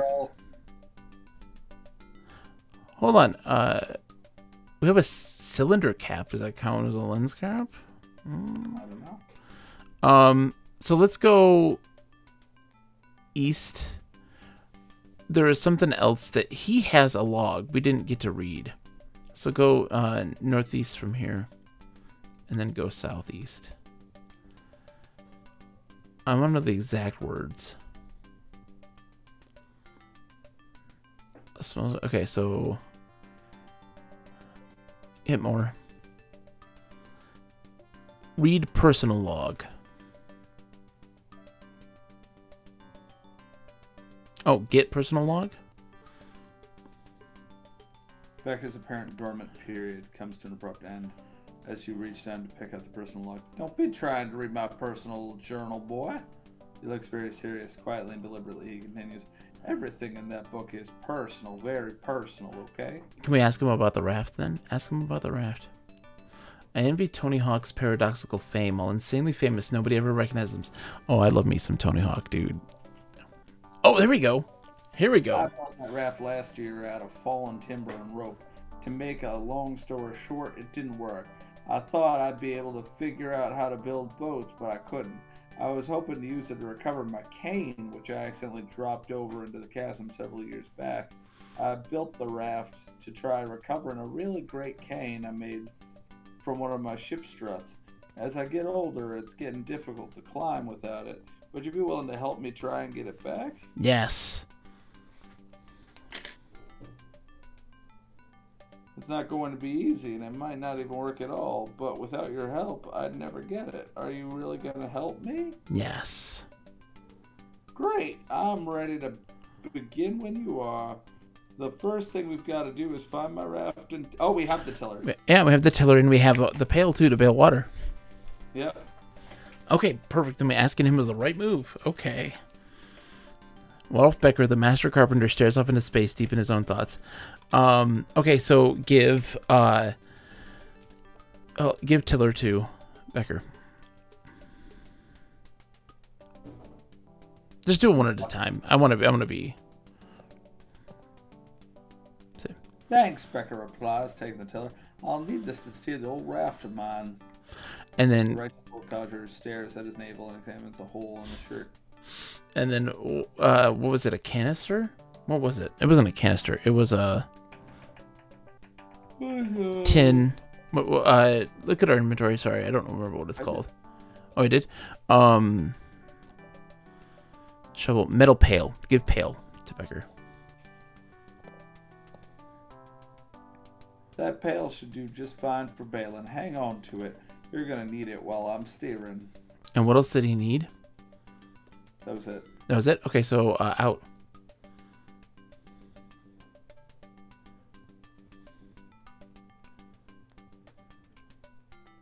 Yep, he's okay. He's with us. Yeah. Um, southwest. Goodbye, Audio Eric. Have a wonderful night, Audio Eric. Thank you. Yes, this is going to be the conclusion. We're beating this game tonight for sure. I don't care, Nick, how tired you are. I'm gonna make you. I'm gonna make you suffer for my my own pleasure of finally finishing this game. West. This one has taken a long time, and I've really, I've never, I've never been at a point though where I was like, this is taking too long. All right. Uh, launch raft. With a strong shove, you push the raft onto the strong current of the river. The raft starts to take on water, just as Becker told you it would. A moment later, Hold the raft. sunk? He needed more. Um. He needed more. What did he need? Ready to rock and roll, sailor. By the way, have I already asked if you can swim? All right. Um. Okay. Uh, get on the boat.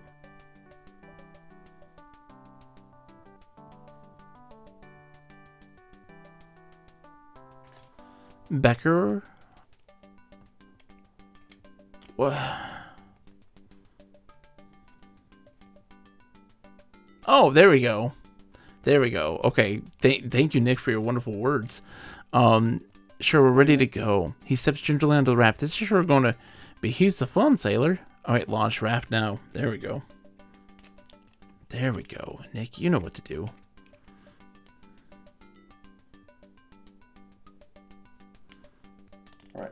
The rapidly churning water all around you is a little alarming, but Becker seems to know what he's doing. Becker adeptly steers the raft around the first bend and into the rapids. The raft has already taken on a lot of water. Steady as she goes, shouts Becker over the din. Bail water with pail. B A I L. Yep. You bail like crazy and manage to keep the rickety raft uh, Bail, sailor! Becker shrieks at you. He really seems to be enjoying this. The river proceeds due south beneath canyon walls that continue to rise. You see a Gyranthamus circling above you, just below the canyon rim. Getting your bearings, you recognize the features of the river trail head ahead. Bail water. You bail like crazy and manage to keep the rickety raft afloat. A slow turn eastward, and you leave the white water behind. Becker whistles as a sailing song of some sort. The canyon walls are still getting steeper. Again. Uh, he really seems to be enjoying this. The river proceeds in a straight line in front of you, heading due east. You must be approaching the shore where you saw the metal strut. And again. Here it is. The river gets shallow here and the raft soon runs aground. Picking it up, you and Becker carry it north until the water deepens again. Along the way, Becker leans down and picks up his cane and smiles at you.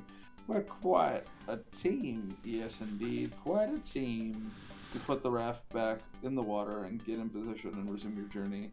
Immediately ran to white water and Becker yells out, Bail, Benson! Bail, baby.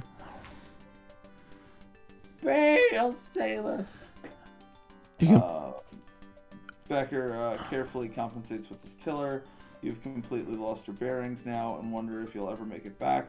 Pretty good raft. I really need to work on making it watertight. I, uh, though, Becker whistles another tune. he's just having the time of his life right now. You bail like crazy and manage to keep the rickety craft afloat. You and Becker both spot the waterfall coming ahead. You look at him, he looks at you. Just in time, you both dive from the craft and climb up safely onto level ground.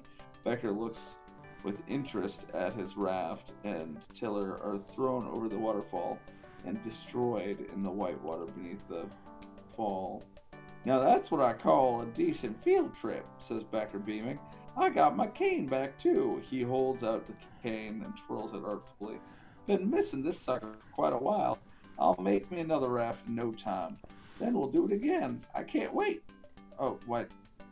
I'll make another raft in no time. Then we'll do it again. I can't wait.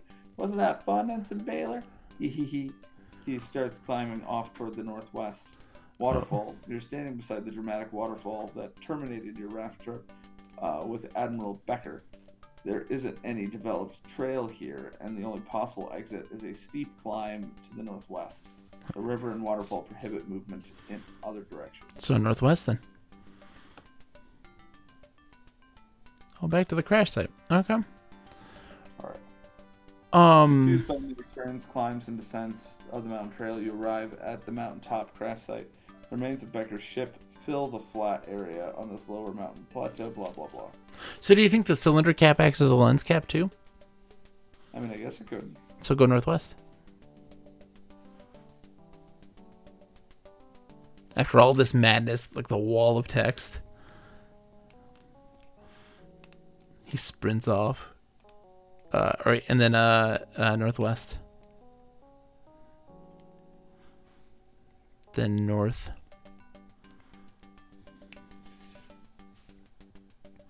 And then north again. And then northeast. And then southeast.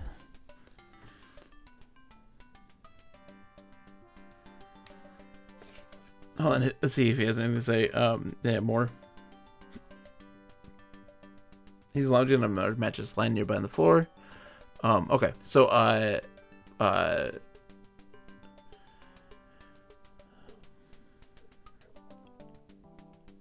so put cylinder cap on lens cover.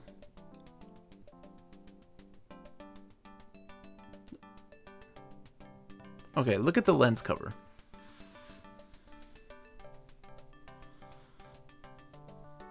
Oh. What happened there? Did you not look at the lens cover?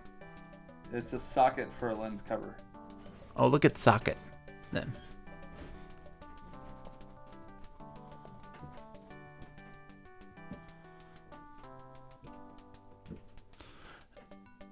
Hmm.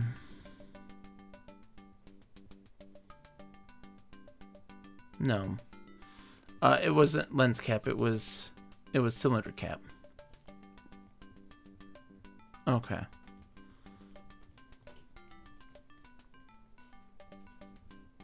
Must have missed something. I Right? think we gotta move this dyno. Ask Becker about lens cover.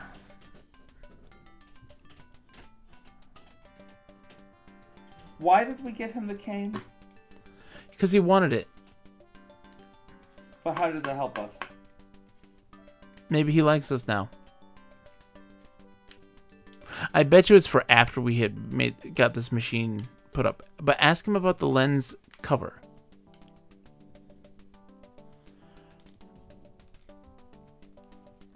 There are two things we haven't missed messed with. Maybe the cactus. There was a glint from our ship. The glint from our ship was the cane, actually. Um.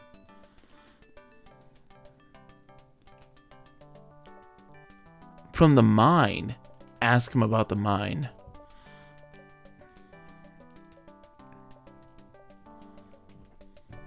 That's the mine I explored in the mountains to the south. I managed to pull a fair bit of uh, vermiculite out of there. From the south, okay. Ask him about vermiculite.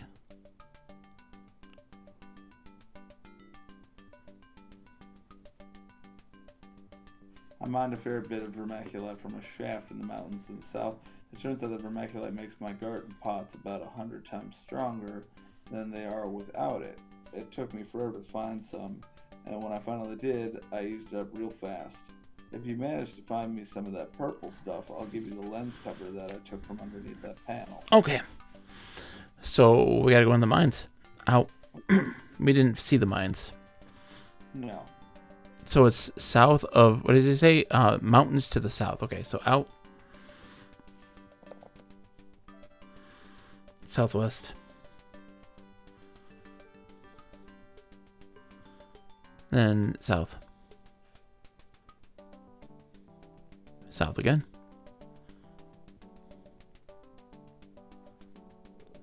Um, go west.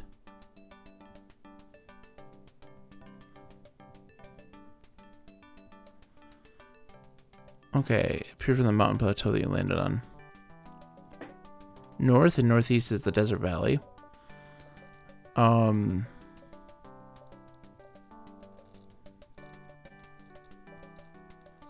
Hmm, okay, so that's not where we need to be. So go north, east.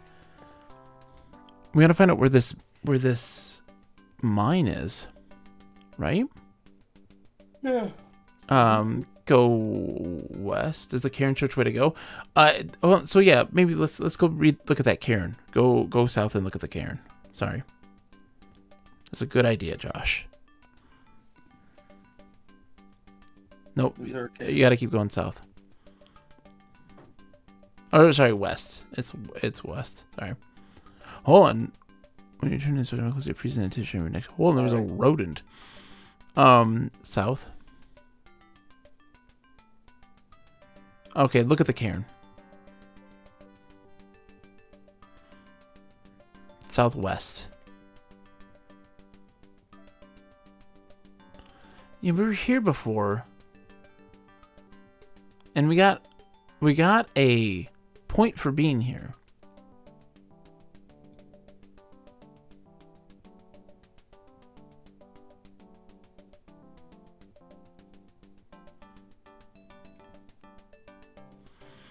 There's no cactus.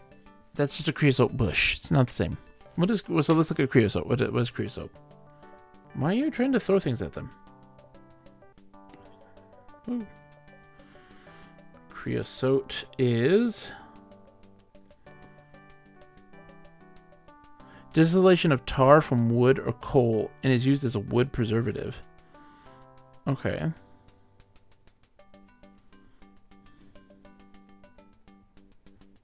Creosote bush.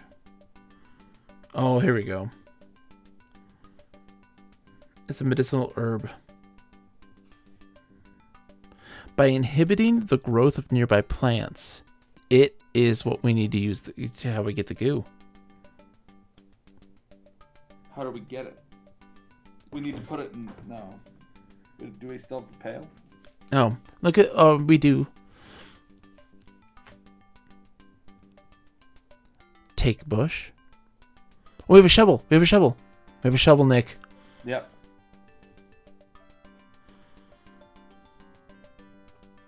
With shovel. Dig bush with shovel. Yeah, all the trails were twisting back around, Josh. Yep, yep.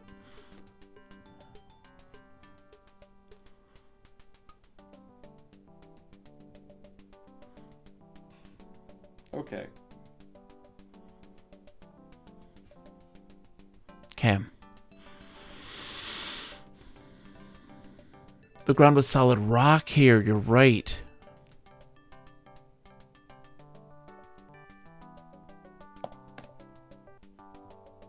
Well, we have a gun.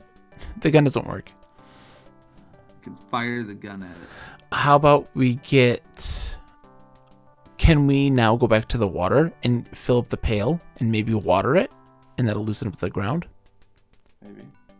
Go, go northeast. Then uh, north. Okay. Then southeast. No, go southeast. One second. What are they called? Creosote.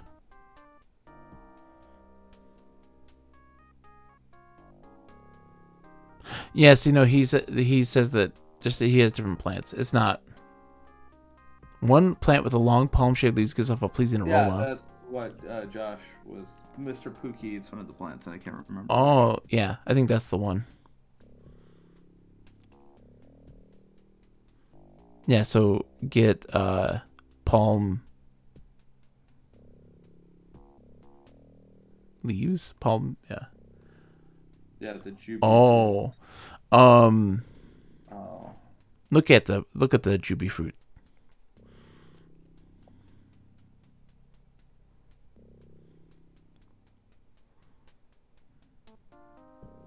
Gonna get leaves. Get juby fruitus leaves. There we go. Okay, good, good, good. That that's good to know. Perfect. Um, so southeast, and then southeast again. And then southeast again.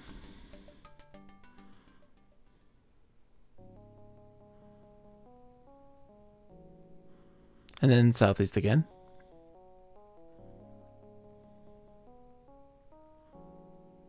Oh no. Uh did we did we I don't know if there's a soft lock in this game. well we had previously remember with the with the with the um with the Sasquatch. Remember? We soft locked that before. I guess. Okay, well hold on. Was that time I did? You want to save make a second save right now and try? Try what? Um. Oh, make a second save and then go to drop trial. I think that's before we did anything, because that's when we dropped everything. Oh, because you didn't save enough. Oh, shut up! You didn't suggest it either. You jerk. That's true. I did not. You're right. I did not, Nick. I'm sorry. All right. Um. So make a make a save here, and then we'll go back to drop trial and we'll try it. Excuse me. Oh man, that dude. This has been this has been a tough one. And it's just got a lot in it for some weird reason. Yeah, there's a lot going on here. I mean, it's like the last one though. That's why, you know. Yeah. All right, so we have to go uh, east. Um, northeast, and then southeast.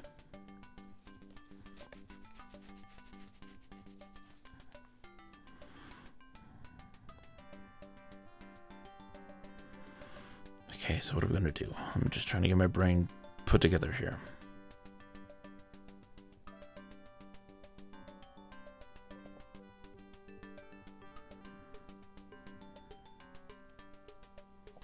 Oh, he's up now.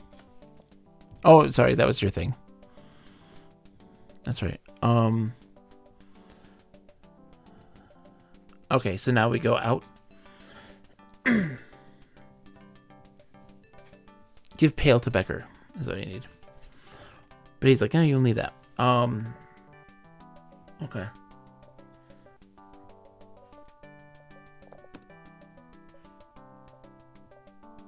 Okay.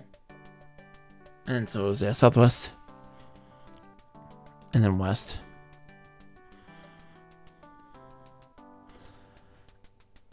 And then uh yep, yep. You gotta tell Becker to get on raft.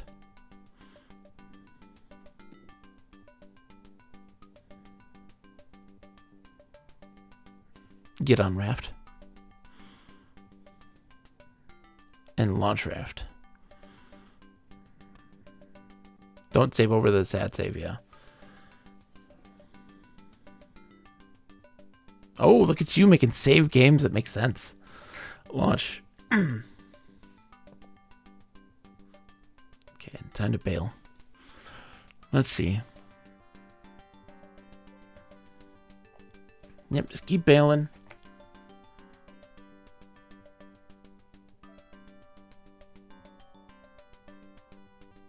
Okay, whoa, whoa. Um, okay. Put water in pail. Probably, but get water in bucket. It's fine too.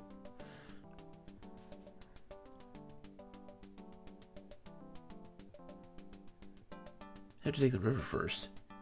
Fill pail with water.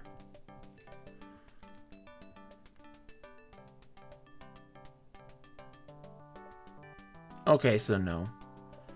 That's not what I need to do then. So let's restore then to sad save. Let's go to Becker's place. Becker's stuff has something there. It's got to have something there. We're missing it. So like we asked him about like the mines and stuff like that's a good start. We know the creosote's what we need, right? There's got to be more to it. So go northwest.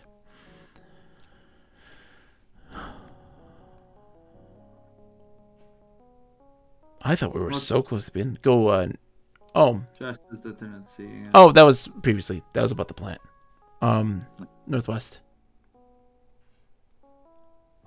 And then northwest again.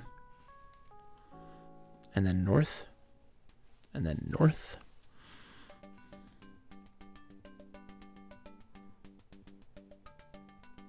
And then northeast. And then southeast.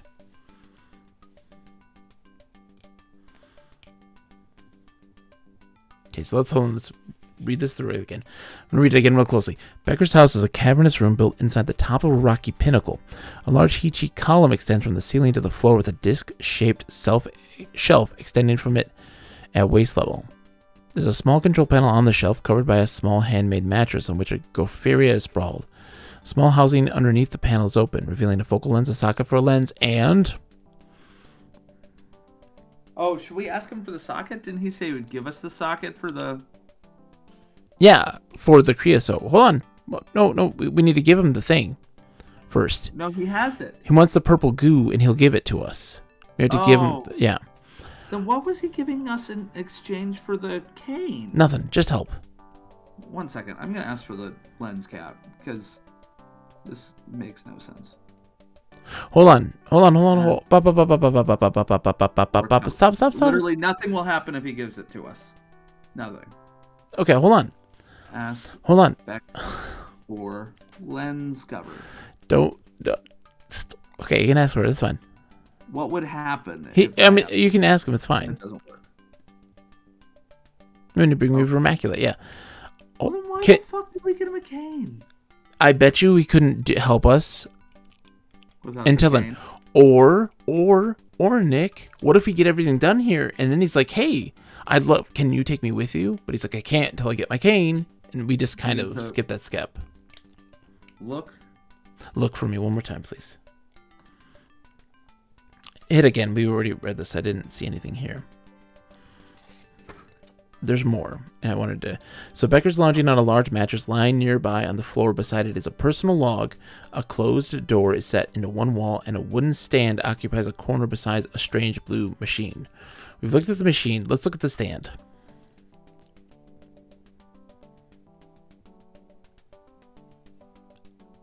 Okay, so it's a wooden stand of some sort, though there isn't much room on it to put things. So That's yeah, that's what that's that's what thing is in the back corner. So ask him about that.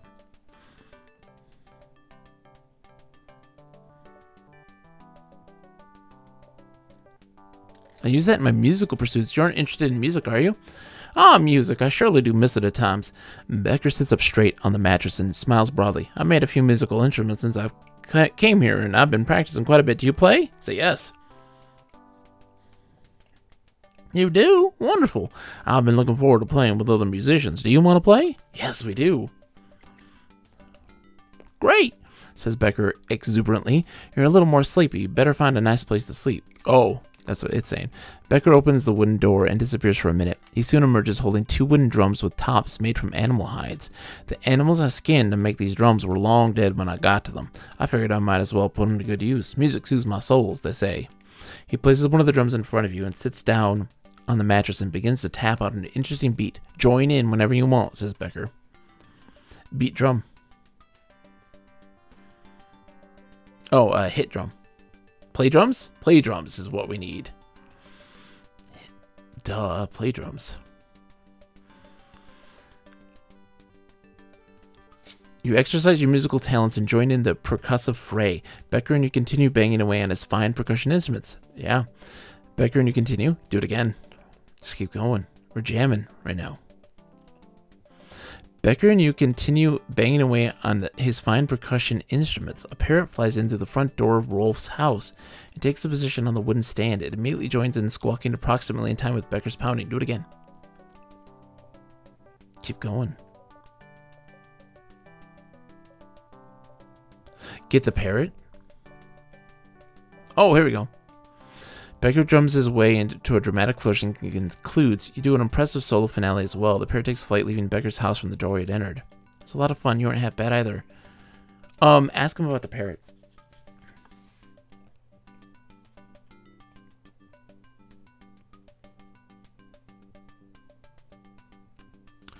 Oh, um, do we have the drum now?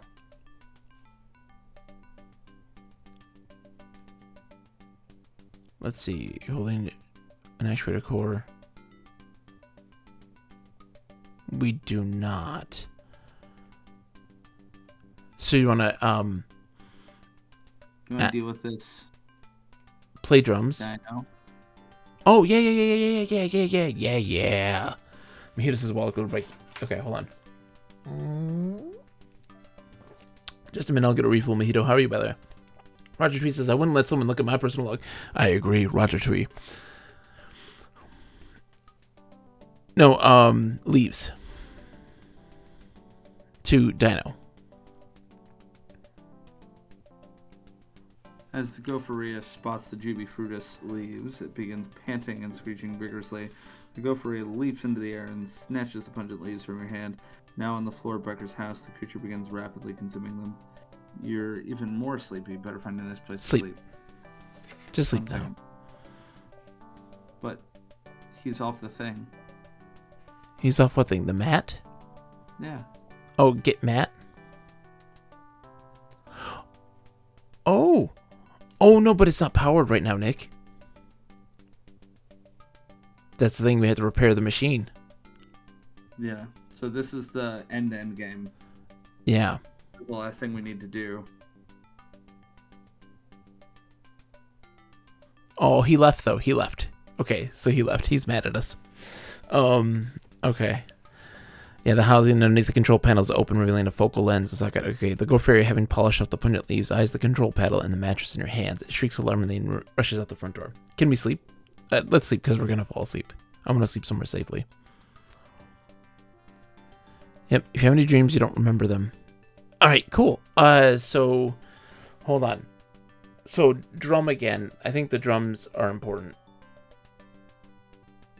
Play drum.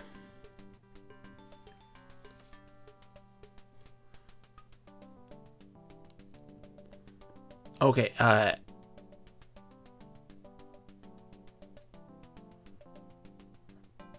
Ask Becker about stand. Oh, yeah, do yes. oh, Asperger was it? Yeah, you hit E. E yes. I saw that. Yes. Yes, I want to play. Okay, now play drum.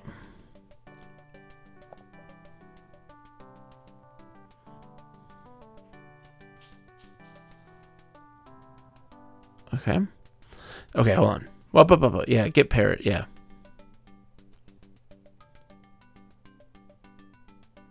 Be cool with that, Rue boy, Becker Warren Specker, and you continue banging away.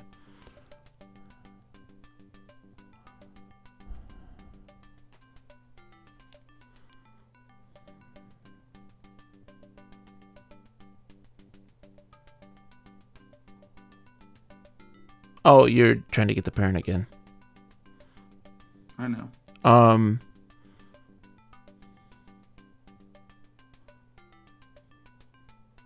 What's the point of the parrot? Uh, um. Okay, so let's let's let's do the thing then. Let's do the thing we're supposed to do, right? The mountain thing? No, this thing here. This this the the panel. I'm gonna see what happens if we try to activate it. What happens?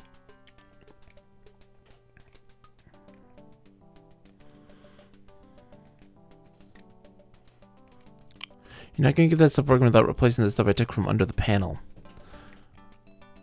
We get the creosote? It's got to do something with the bird, right? Can we, we take have the? to get the vermiculite. Yeah, but the creosote thingy is the vermiculite. It's that's what it is. It's because yes, because I'll tell you what creosote does. I'll look, I'll tell you what creosote does. Hold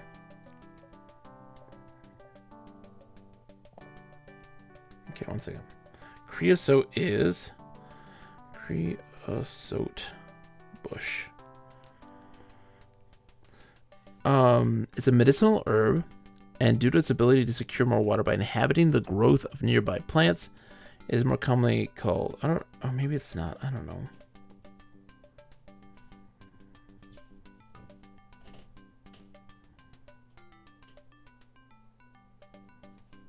Hmm. Ask Becker where the mines are.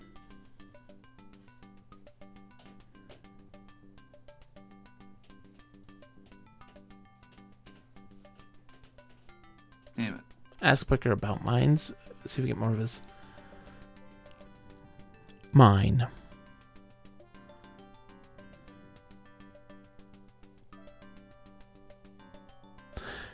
Josh says, wait, does that mean that the cover's in the kiln? Maybe. We You wanna go- never the kiln. I mean, we looked at the kiln, but we didn't look at the kiln. Yeah. Trickle Northwest, maybe. What's the parrot gotta do? We got points for doing the parrot. What does the parrot gotta do? I don't know. I don't know either. You tell me. Yeah, he said he'd give it to us, but maybe the kiln has something for the parrot. Maybe. Kiln may have something, right? Uh, southwest, and then southwest again. That should take us to the thing. Can you open the kiln? Yeah, open the kiln. There's also a table. Somewhere. Yeah, but there's nothing on the table though.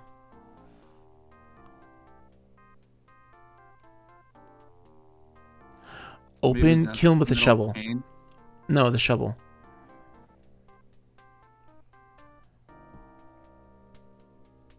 Okay, no.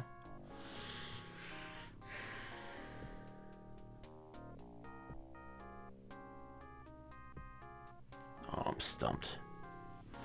I'm stumped. Um, I'm gonna go get some more water. Okay, I gotta go. Uh, my oldest, my wife has texted me saying my oldest is still awake downstairs for some reason. So I'm gonna be right back, Nick. Um, explore. Just try to figure things out. I believe in you. I'll be right back.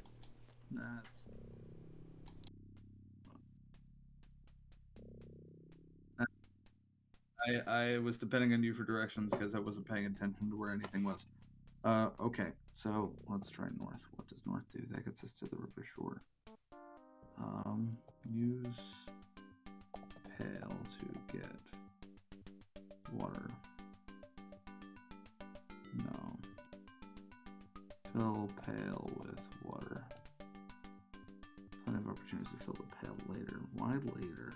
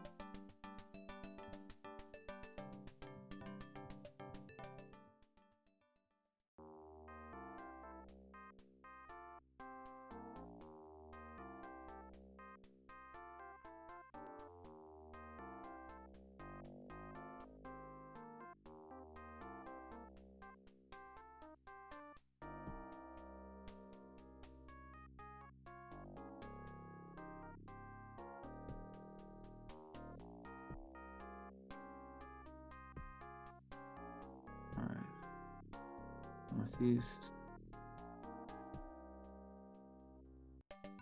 Northeast. Okay.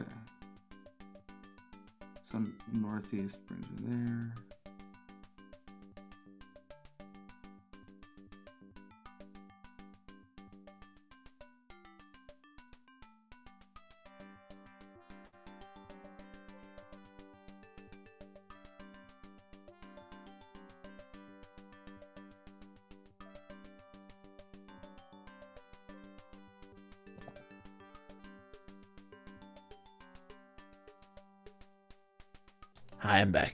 Uh, so. Oh. Okay. That kiln is made out of mud I dug up from the riverbed several miles from here. I built it on a hot spot, a vent that spews hot air, kind of like you, pal. I use it to fire the pots I grow all these plants in. Only problem is, I haven't had the strength lately to mine the one natural mineral around these parts that makes those pots last more than a few months, vermiculite. As a result, I've been spending the majority of my time lately making pots that don't last very long. Okay, so go, um, hmm. my only guess is maybe we aren't, we aren't, we, we haven't found a place. Okay, so go southwest. We had to, yeah, we had to have missed something. Hold on, so let's go west. Look for any cairns. Hold on. Um, this until it's fairly calm beside the shore. Okay, so go south.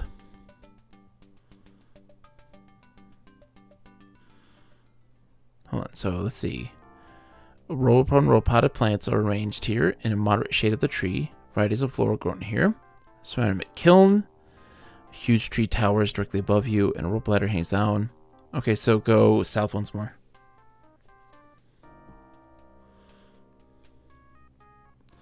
Okay, so look at the cairn here.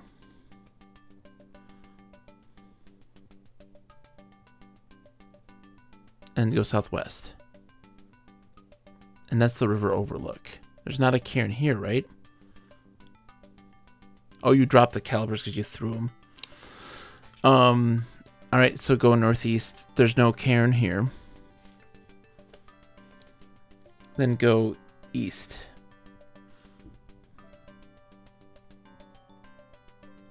There's a cairn.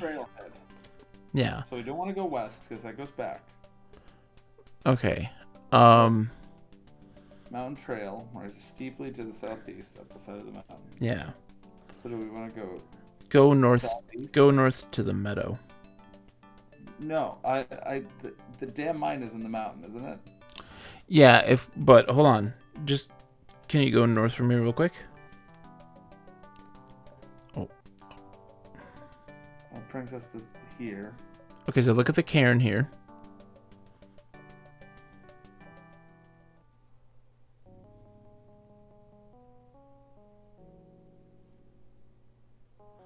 And southwest is going to take us to our ship.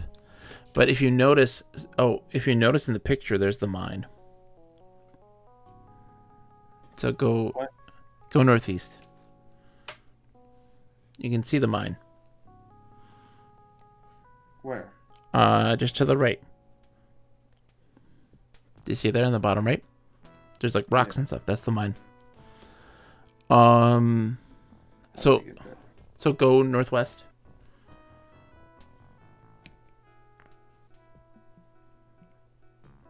Look at the cairn. There's a cairn here, right? Oh no, there's go north. Go north to the meadow. All right. Um Okay, so have we ever gone east? yeah, east is the rope. Okay. So Have we gone southeast? Uh, southwest. Yeah, that'll lead us to the to, to the trail.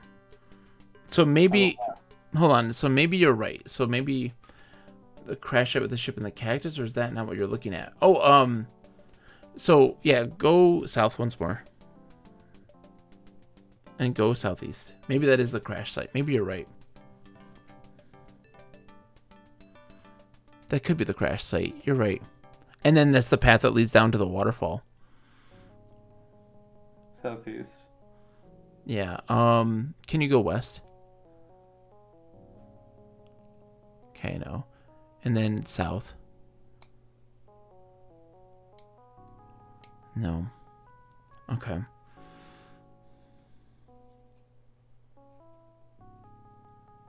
Yeah, so south was The mine is in the mountains, right? yeah, so go south and see see if we can see more from there. That's the vantage point. Um and this the shiny thing is gone now. And we can't go anywhere else from here. So we can go south, northeast, or west. West is back on our ship. So yeah, northeast. Oh, what? It's not. I thought it was our ship. That's my bad, Nick. That is my bad. I failed you, my friend. I failed you. All right. Shit happens. Okay. Climbing down a steep circular cliff trail, less and less sunlight reaches the depths to which you are descending. The trail suddenly comes to a dead end. Looking straight up, you get a sense for how the depths of the shaft. Um, whoa, for the depth of the shaft you've descended. A shallow pit that could be the mine Becker mentioned to you has been carved out a few centimeters below the surface. You see a creosote bush, a rusty pickaxe, and a pit here. So, uh, get pickaxe.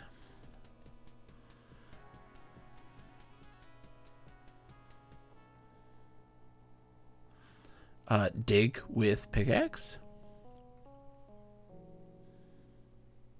We've had a hatchet this whole time, John. What do you mean? Oh, to cut the plant? Yeah. I don't think he wants us to do that though. He doesn't want us to harm anything. Oh, but it's to tell us that. Wait, no, dig with a shovel, maybe.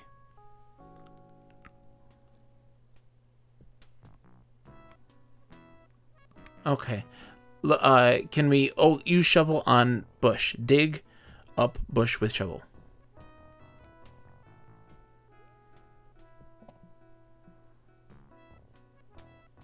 Okay. Look at the creosote bush here. There's got to be a reason why it's there. Okay. Do you want to cut it with the axe?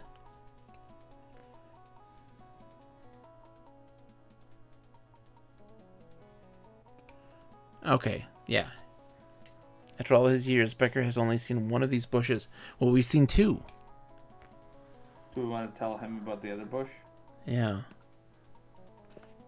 Oh, What? Nick, Nick, Nick, Nick, Nick. No, no, no, no, no, no. Use the pickaxe at the other creosote site. That's what it is. That's what it is. Yeah, because it's where Yeah, it yeah. grows where there's vermiculite. Josh, Josh and I came to the same conclusion at the same time. So go up. Uh, then northeast. Then northwest. Then uh west. And then southwest. That's what it is. Okay.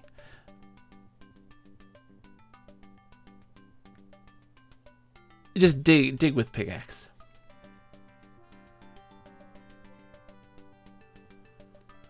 There it is. You swing the pickaxe hard at the rocky surface. You barely scratch it, but you've made some progress. After a short while, you are so exhausted that you collapse from fatigue again. Oh, um, just some more and get all sweaty and irritable again.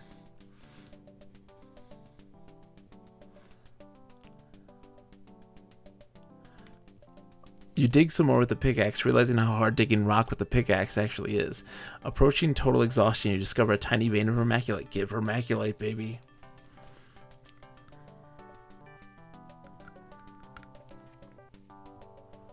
Rock Okay. isn't always hard. Northeast.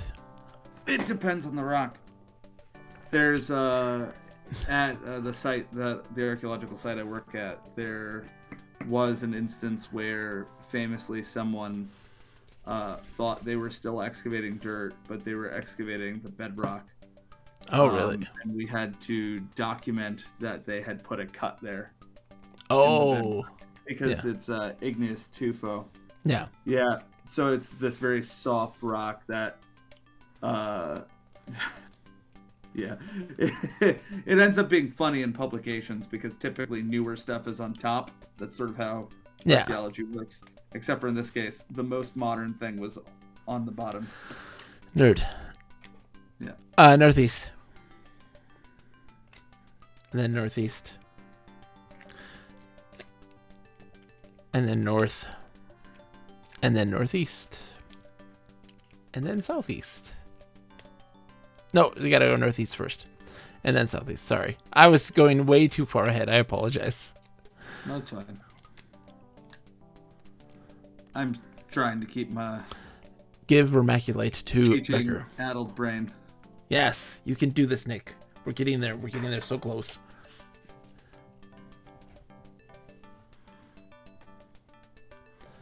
Yep. Yes, this this is is more than enough to make hundreds of strong pots. I'm gonna have to check this vermiculite out and make sure it's real, but it'll only take me a few minutes. Meet me down by my garden in a while, and if it's real, I'll give you this thingy, I promise. okay. So northwest. Wait, wait, wait. Oh, oh, get his journal. Get oh, his journal. Get his yeah personal log. Read personal log. My ship was irrevocably damaged and landed on this desolate and forbidden world. Excuse me. Food and water stores were lost. My leg is injured and it looks like it will heal. I'm able to scout the immediate area. Luckily, the water in the nearby river surrounding this plateau is potable. Food is going to be a bigger problem. Looks like I'm stranded. I should have quit when I was ahead. Again. There were animals rummaging, outside the wreckage of my ship last night. I didn't see them, but there are animal tracks all over the ground. If they'd been more curious, they'd have found me. I'll try to find a safer place to sleep tonight. Leg is a little better, but I'm getting hungry. Again.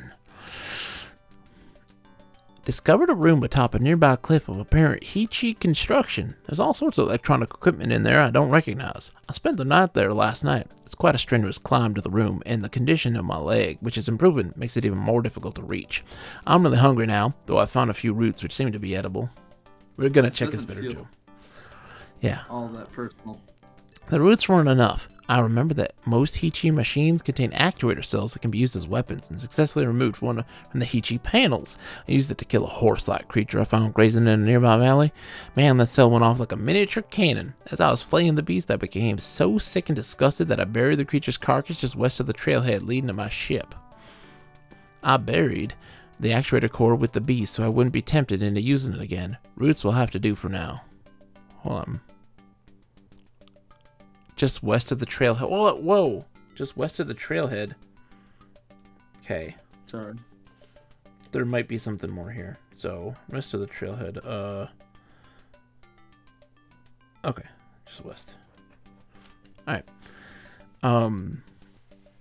So, let's see. Life here is actually getting quite bearable. Hold on. A dissertation on the diurnal patterns of various animals of the planet. Sorry, I found some other edible plants and gotten pretty good at collecting enough water to last several days at a time.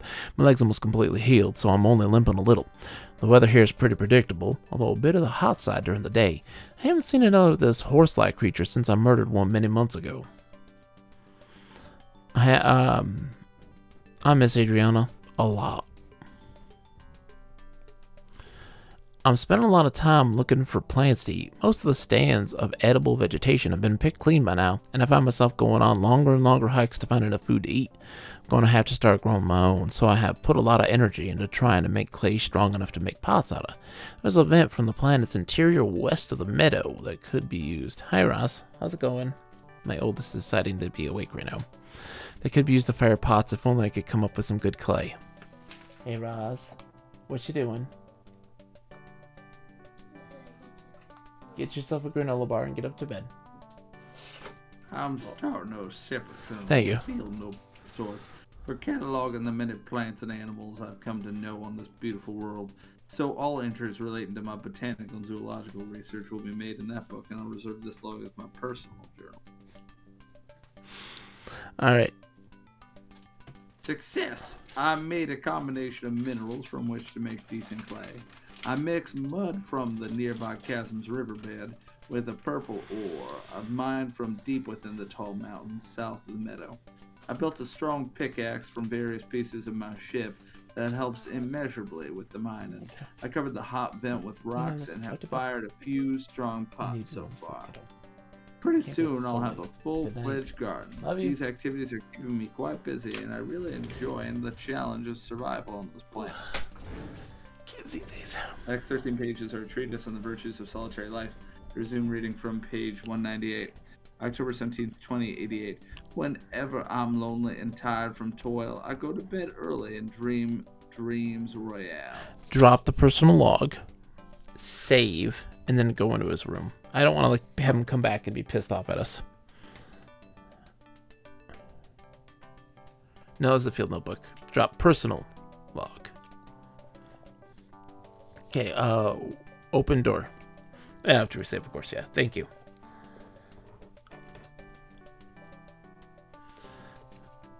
Open door. Yeah.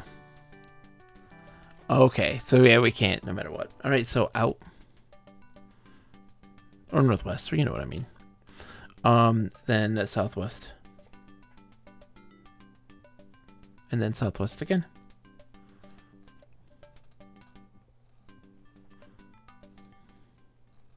Look at him. Uh, what took you so long, Snickers Becker? Anyways, here's the lens cover I promised you. Friend, he drops it in your open palm. I always keep my word. He starts back towards his house, but turns back to add, If I haven't told you already, leave my garden and powder stuff alone. Okay.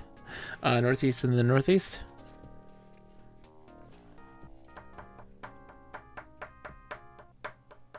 This was a big one. This was a beefy puzzle.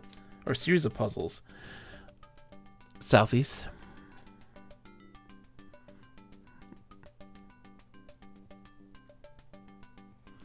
Um Can we ask him about Adriana? You have it as upped.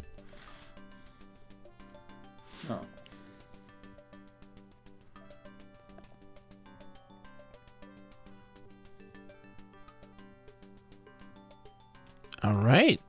Um ask him about ask yeah, Becker about Adriana. A D R I A N A. Yeah. Oh, Jesus. Oh, I did not anticipate that language.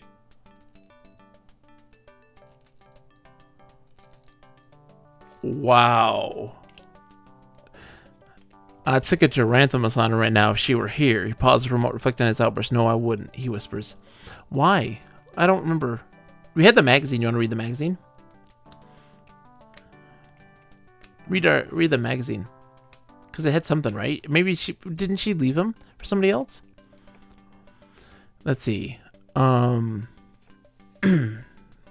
was in trouble within Yeah. six months when uh, Adriana announced that she was bored with Rolf. Since Becker's disappearance, however, Adrian has gone through a profound change. I had a lot of growing up to do after Rolf left. I realize now that I had what I had in him. Oh. Show him the magazine. Show him the magazine. he doesn't know. Show magazine to Rolf. Oh, sorry. Yeah. Show magazine to Becker. Yeah. Yes, you can borrow it. Yeah, interesting people. I never, I've never read that, but I'd like to. Could I borrow for a while, friend? Give, yeah.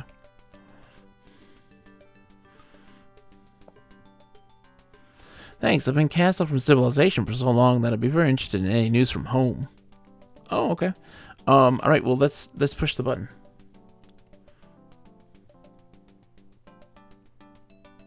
Um. Uh. Pull lever.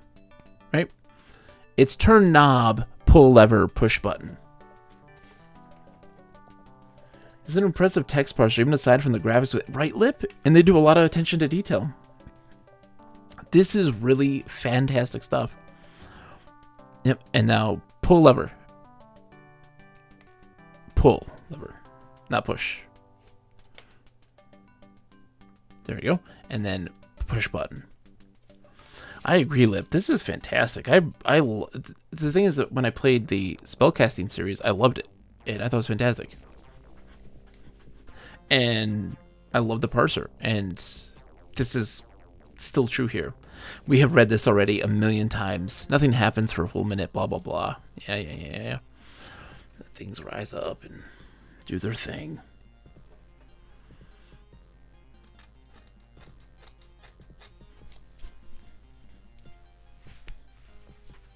Did you listen to the soundtrack with the Roland um, I MT32? did. It slaps. It slaps, dude. It's fantastic. Um, uh, help Becker. Be- do you want to come with us, Becker?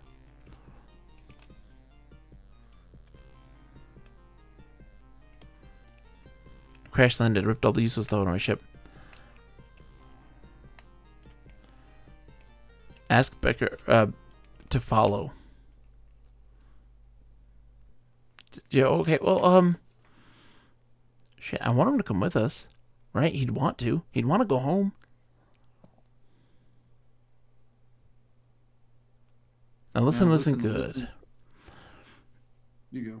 Becker says, pointing a finger at you with determination, Nobody's told me what to do for many years, and I'm about to start talk taking orders from the likes of you. Am I making myself clear? Yes. Okay, he's disgusted with you. Um Ask Becker about the magazine. I because I feel like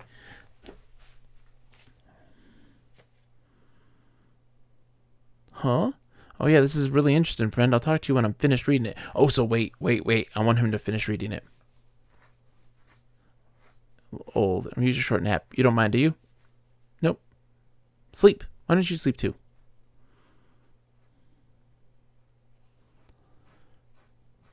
Oh, you're not tired yet? Okay, so wait. He's asleep right now.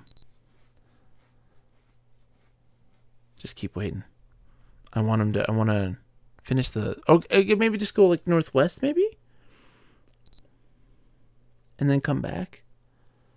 So go southeast. Maybe he's asleep. He's awoken now.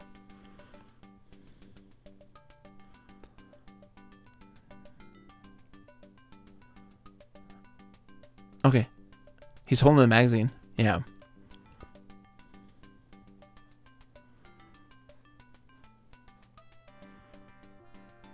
Okay, so just wait. I'm gonna I'm gonna see what happens. He's he's holding this magazine. It's it's okay. Uh, just go northwest.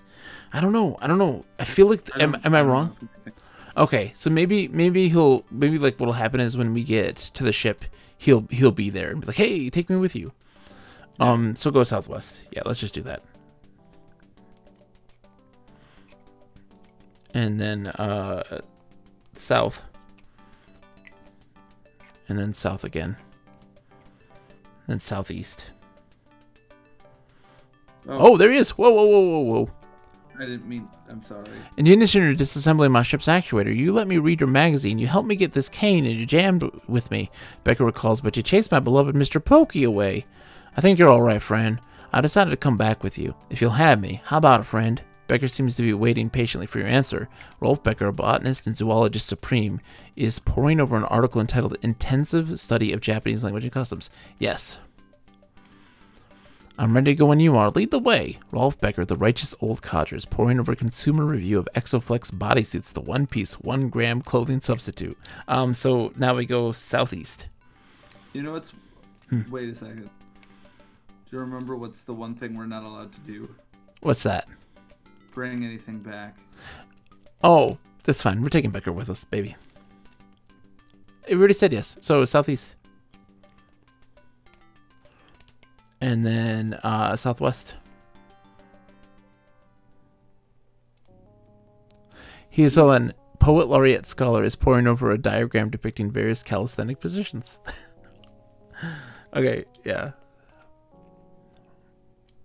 And what is he gonna do now? The crunchy granola space dude is poring over reviews of consumer virtual reality gear. In. Well, I guess this is it, says Becker dejectedly. He looks around slowly, takes a deep breath, and prepares to enter the ship. Remembering Warden's instructions, you leave the rusty pickaxe. All that stuff, yeah. Okay, yep. More. Um, looking unsure of himself, Becker follows you into the ship cabin. Rolf Becker, the righteous old codger, is pouring over a recipe for new age moo goo gai pan. All right, sit. We're bringing Becker back. I I am loving this game. I'm I am smitten. I'm absolutely smitten. Pretty damn good game.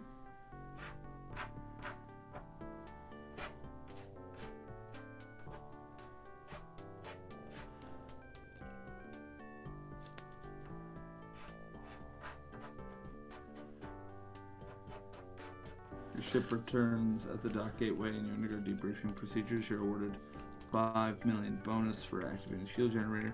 Receive 1 million reward for return of Rolf Becker. Nice. Oh, part three. End game. What I say? End game, baby.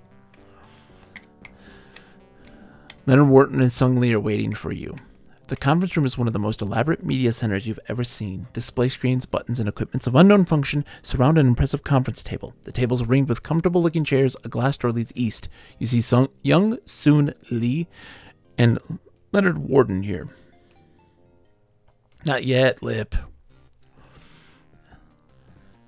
The good news is that you have activated the force shield generators that the Heechee told us about. The bad news is that there is a fifth component to the defense system and we don't know where it is. We know where it is. That shield won't actually work until the fifth component of the cloaking system is activated. This fifth component is the command and control center. We've taken to calling it the Vertex.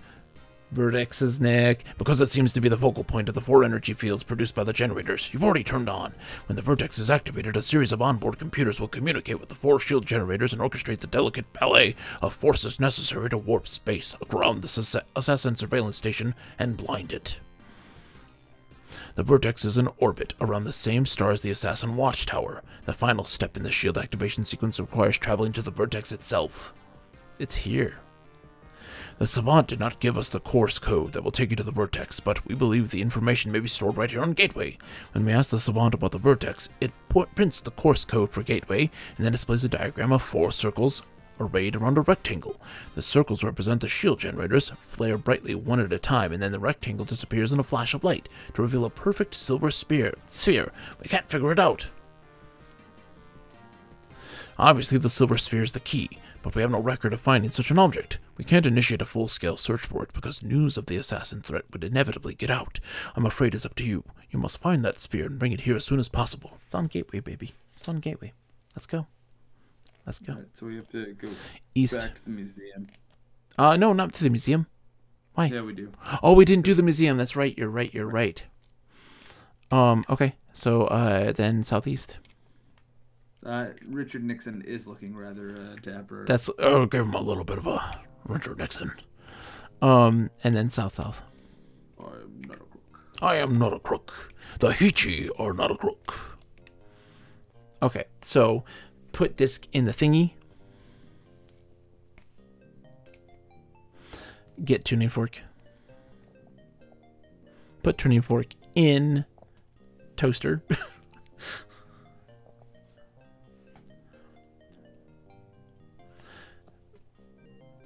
Take disc. Put disc on.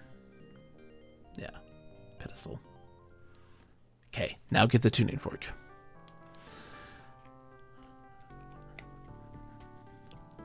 Okay, save.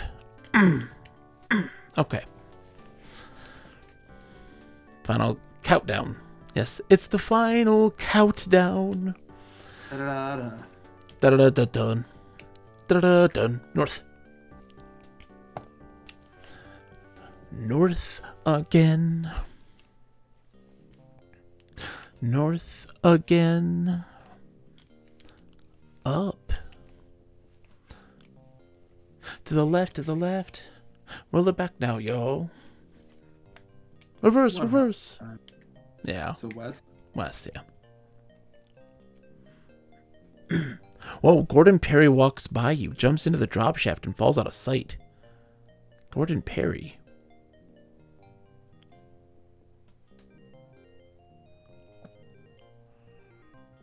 No, hit wall.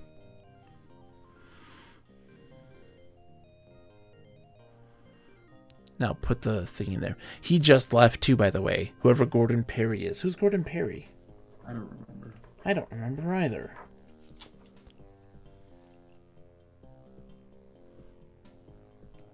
In yeah, slap.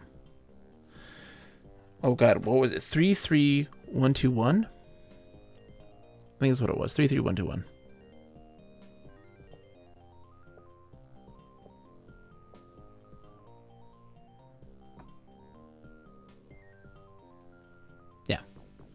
Um west. Or in, doesn't matter. There it is. You're in a large room. The room is empty except for a panel set into the west wall. The portal through which you entered remains open to the west. There's the sphere. All right. And look at the sphere.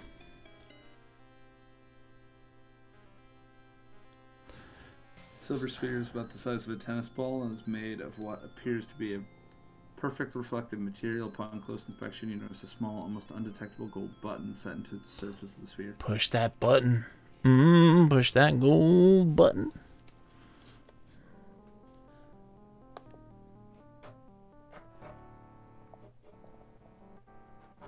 I don't remember who Gordon Perry is. I wish I remembered. When you press the button, the air above the sphere shimmers and then darkens to a color seen only in the reaches of interstellar space. A thousand fiery pinpricks of light slowly appear in the darkness. Then a network of colored lines spreads between them, joining them in a graceful tracery. Some unintelligible Heechee characters suspend themselves in the air. You are looking at a holographic star map, a staggering display of technology never before seen by human eyes. As you gape in amazement, the projection begins to rotate slowly. The hologram vanishes when you take your finger off the button. Okay, so go east.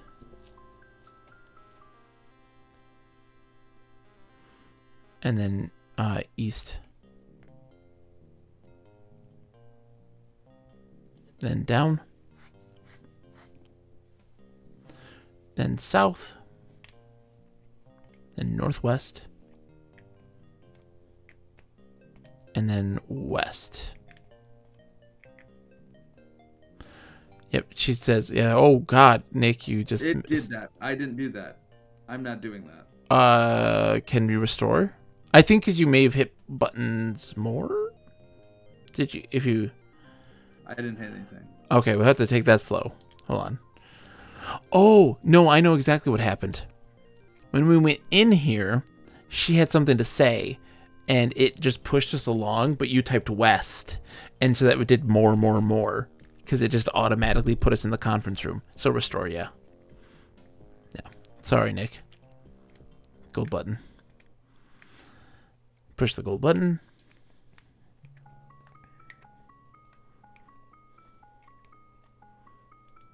Okay. So east. Yeah, that's why. Yeah, if you if you typed if you like typed more than one thing, it just did more for you. Um, east again. So you just have to be careful. Down. South. Okay. Northwest.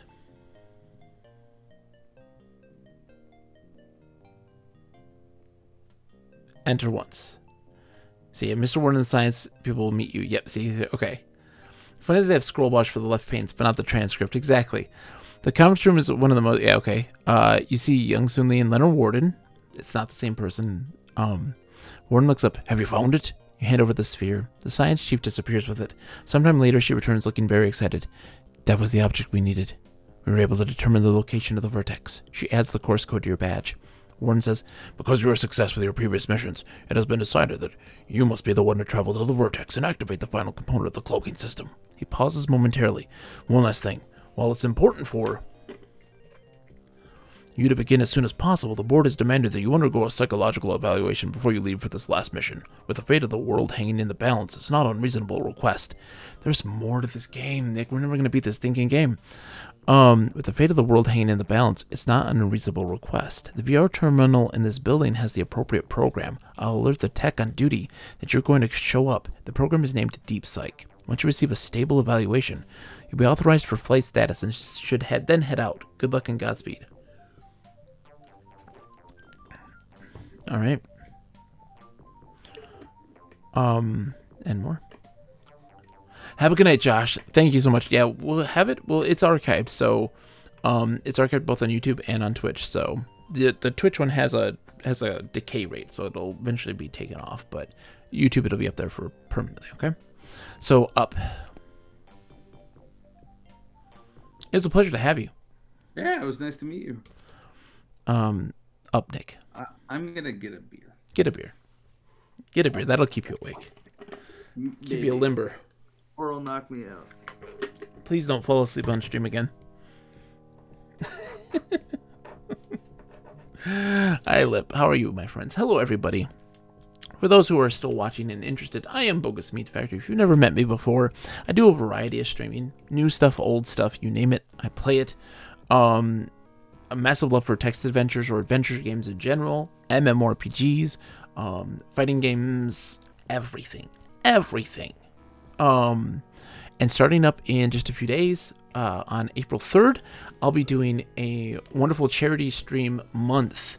Um, in in uh, collaboration with a really great streamer, a local guy who's really awesome, the Combat King.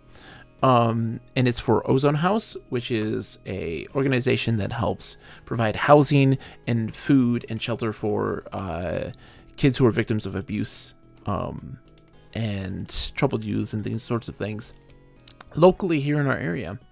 And so that's going to be starting up on the 3rd of April. So get ready for that. It's going to be fun. We have a lot of cool games uh, set up to be played and stuff like this. So it's going to be a good time. Hi, Nick. Hi, John. Up you go. Up, up, up. Why up? That's where the VR thing is for the psych. Wow. All right. Um, the tech is your sympathetic look. I received the authorization for you to enter Deep Psych. Now that's a nasty VR. I guess the higher ups want to make sure you don't snap under pressure. Let me snag the password for you while you lay down on the couch. Okay, so sit on the couch.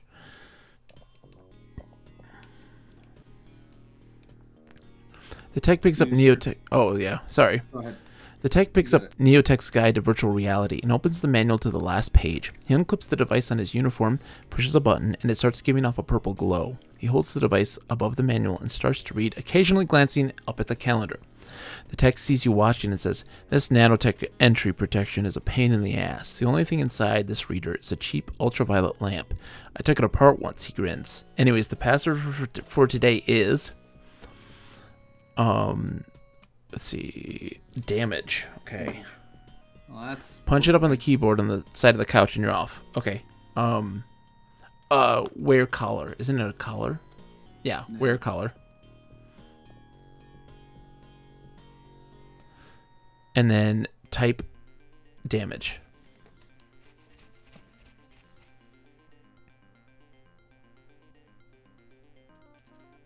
Oh, s- shoot. Deep psych. Okay, now type damage.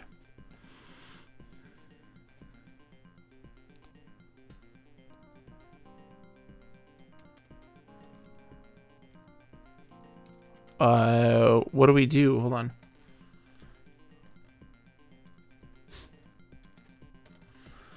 Oh, we got a message too. shit. Yeah, hold on. It's fine. Um, insert card or put card in slot.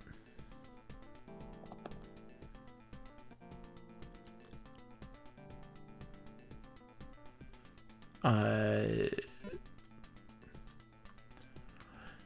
states that sleeping in common areas is against regulation. You've been charged a one hundred dollar fine for your violation. Oh, that's fine. That's fine. One hundred dollars. Psh. All right, end session. We got millions now. Uh, get all.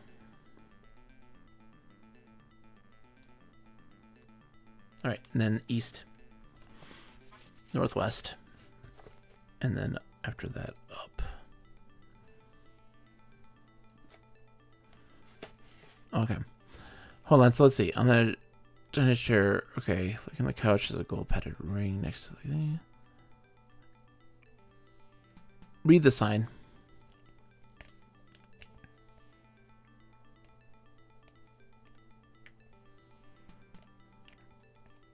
Okay, no. Um, look at screen then.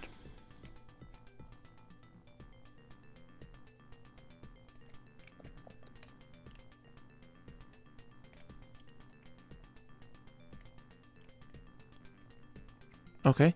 Uh, it's already set to it from when we did it before. So sit on couch. Wear collar. Look at the collar.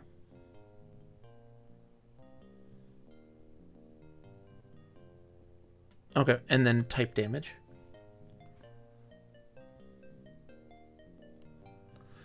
In response, you hear a faint tinny ping. Um. There we go. Press the button. The couch starts to hum with power, and the collar begins to glow a dark blue. Everything around you fades to a milky white. Then a picture begins to form. Solid blocks of blacks and purples slowly resolve into the rocky walls of a gloomy cave. A dark spot on the floor quickly stretches out into a crack that runs the width of the cavern. You suddenly realize that one of the one end of a sturdy rope is tied around your waist. To your horror, a demon suddenly appears on the other side of the crack, and the other end of the rope knots itself around him. A huge door slowly forms in the wall behind the demon, and then a red button pops into existence and hovers in the air right in front of you. Don't escape. We're not pressing escape. Um. Oh, hold on. We, there's things here. We have a knife and boot, and an, he's got an axe. Rope, some boots, and a blue coverall. Look at the knife.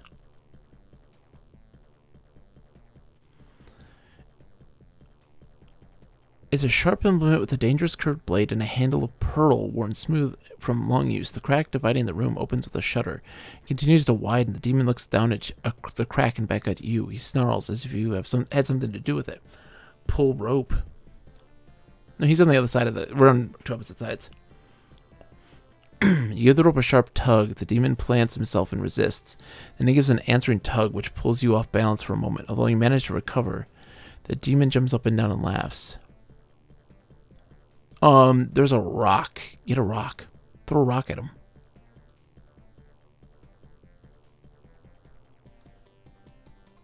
Oh. Chasm's nine feet across. Oh, now pull. He drops his weapon and starts clawing frantically at the door. You pull the rope a sharp tug. The demon plants himself resist, and he gives an answering tug. The chasm walls give another lurch, and you finally run out of rope. Both you and the demon teeter on the edge and then pull each other into the abyss. You fall for what seems forever before the scene finally dissolves around you. The hues and colors of the virtual world swirl, and look- soon you're back in the real world. Well, you didn't quite get through. Tell you what, read the screen. Read the screen.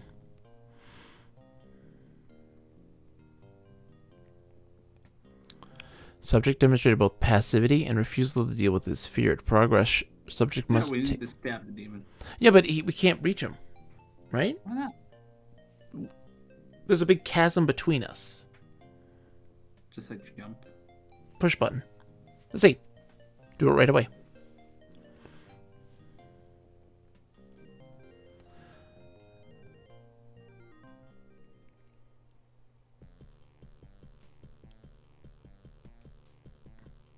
You plunge. Oh, okay. Well, I guess at this point you could. You plunge the knife deep into the demon's chest. He staggers backward and claws at the dagger, unable to pull it out. He looks up at you in confusion and then fades away. The hues and colors of the virtual world. Uh oh. Didn't quite get through.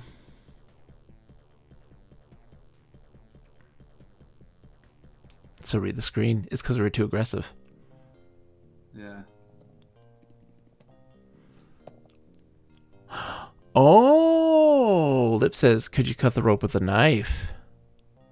Mm, There you go. So push button. That's it, Lip. That's that. That's the key. I would say if there's a demon, stabbing it is pretty reasonable. I don't know. It just looks ni- mean. He's not necessarily mean. He's got an axe. So cut rope with knife. You slice at the cord around your waist and toss the rope away with a flick of your wrist. Your moment of triumph is short lived, however, as the scene dissolves around you. Well, you didn't quite get through. Tell you what, read the screen and go back in. Oh my god. Okay, let's read the screen.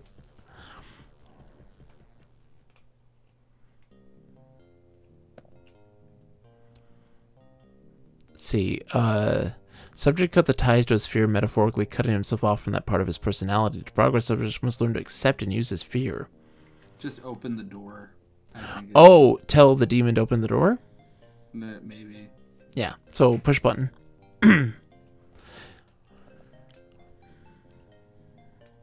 Tell demon to open door. Or lift bar. No, you gotta say tell demon to lift the bar.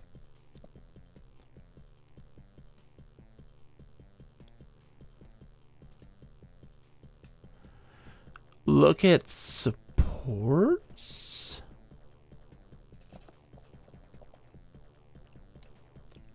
Plank that rests on iron supports near the top.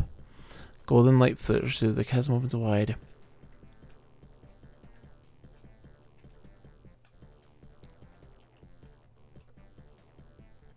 You know what?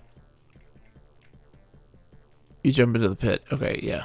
Um, we need to hug the demon. Hug the demon. Tell the demon you've been trying to reach him about his car's extended warranty. That's to Telesia. That's exactly what we needed to do. Fled irrationally from his fear, choosing death over confrontation. Yep. So, push button. Um.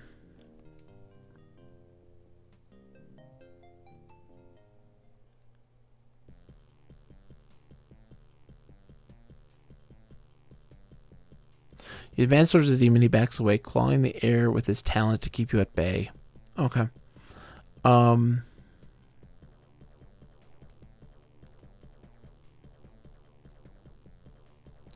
Leap over the crack and land safely on the other side. Okay, there we go. The crack pulls back even further. The resulting chasm is now about three feet across. The demon takes a tentative swipe at you. You dodge easily and notice that his follow through leaves him wide open for a counter attack. Um, don't don't stab him. Don't stab him. Don't stab him, please. Please, it's gonna do the same thing as it did last time we stabbed him. It's not a shit puzzle. Hug the demon. He's open. Hug him.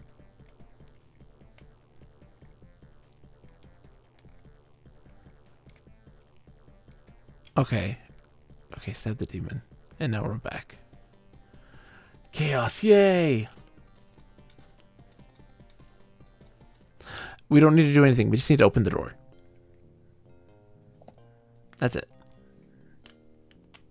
It's not a shit puzzle. You're a shit puzzle, Nick. I'm sorry, that was actually mean. Um, lift bar.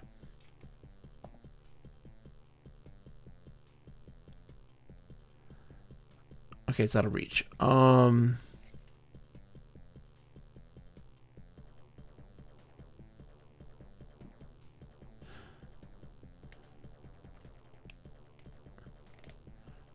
The action leaves his torso vulnerable to an attack.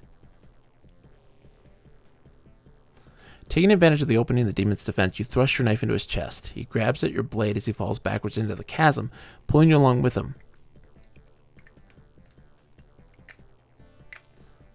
I don't get why you would tell me that he's available to. We can get the rock now. We can get the rock. We can knock him out.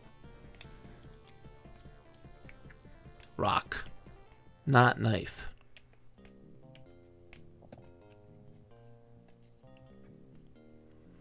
And that way he goes into the chasm. Rock his socks off. So cut the or get axe first or get get rock first, yeah. Get rock. Okay. Never mind. Look at the rock. I want to see where this rock is. It's across. It's on the other side. But we couldn't get it when we were on that side. I, I don't think we can interact with it. But why is it there then? Look at the rock. Look at the rock. I just want to look at it. Okay, so no, it's nothing. So we cut the rope first, and then what do we do? Push him? Maybe we just push him. It's just like any any time we interact with it, we well we can't touch the bar. Cut the rope. Like if we cut the rope, it ends it. No, it doesn't. Not now. It No, it doesn't.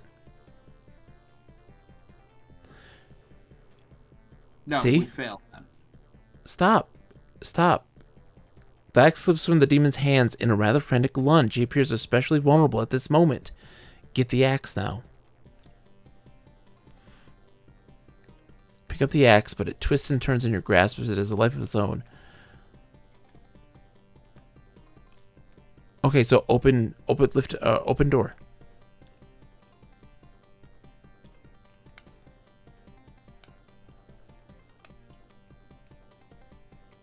Lift bar. Remove bar. We we can't. Oh, Try. break. Use axe on supports. Lift the demon! You grab the demon, but in his frantic state, he hardly seems to notice. Instead of attacking you, he continues to claw against the door. You hoist him over your head, and he immediately pushes the plank off its supports. The plank clatters to the ground. The door swings open, and still carrying the demon, you stride into the golden room beyond. There you go, Nick. It, supposed, it told us to use the demon to help us get out. The hues and colors of the virtual world swirl in a soft cloud. Soon you're back in the real world. Bam. I gotta lift people up. The tech glances over to you from the alcove. Way to go. Not many people figure that thing out. Personally, I think the program's kind of subjective. But anyway, I've alerted Warden to your success. By the way, if this means you're shipping out, I might not see you again. I'm going Earthside for the Worldwide VR Conference, he smiles. I'll be back in a couple of months. Good luck on whatever you're off to. Alright, down. Oh, sorry, remove collar. Even. Eat demon. I think I'm just irritated because I'm like I feel that we're, we're I'm feeling a little. You're tired. And you're grumpy. No, it's not. It's not tired. It. I I've thought this game is gonna stop at least twice now, Remove collar.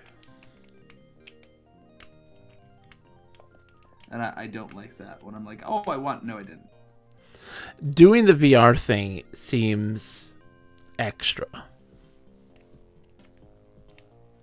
The internet says to do other things to the demon. Oh my. Alright, down. Uh, southeast. North. Down. South. South.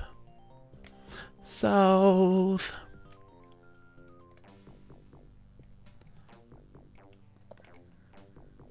We got this, Nick. All right, time to put in that code. Do your duty. Don't get it wrong, We hadn't Saved afterwards. You already know what to do for a living. The wrongest answer is usually in my inbox. Yep. The truth. How are you doing, by the way, Telesia? It's been so long. What have you been up to? Have you been playing anything good? Any good games lately?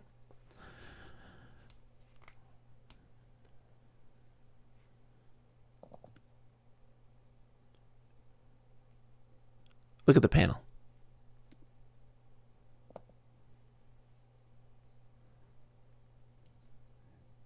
Yeah. Okay. Could use more work, yeah. Went back to Legend of Zelda Minish Cap. Good game. Very good game.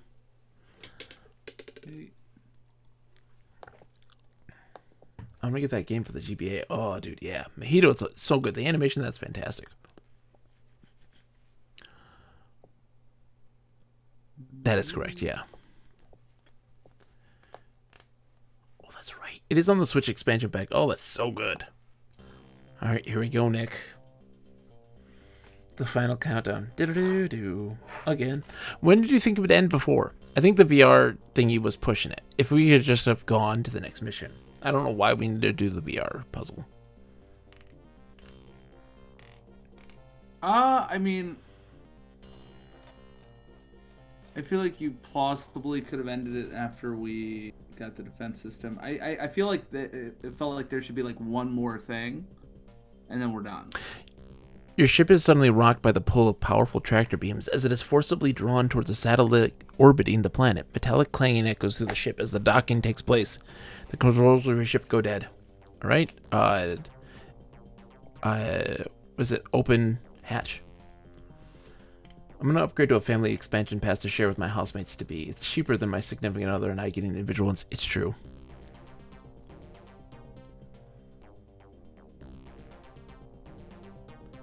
Smart move. Uh, yeah, out. Bogus. I set off the cap month alert earlier and didn't realize you were on. It didn't go off in here, did it? I didn't set it up yet. I didn't set it up yet. Sorry. TKK. So- I was gonna get it all set up tonight. The oxygen atmosphere and the blinking lights around the room indicate that the Heechee satellite is still operational. The thick windows look out over solar energy collectors, and the distance, in the and in the distance, a planet hangs in the sky. The watchtower is nowhere to be seen. The small chamber is packed with Heechee technology. There's a engraved metal compartment in the north wall. It is closed, and on its face you see a large button.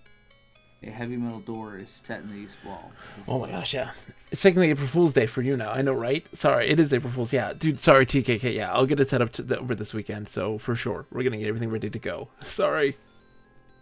Uh oh, TKK says Nick that you have glorious hair. Oh, thank you. It is messy as all sin, but I appreciate that.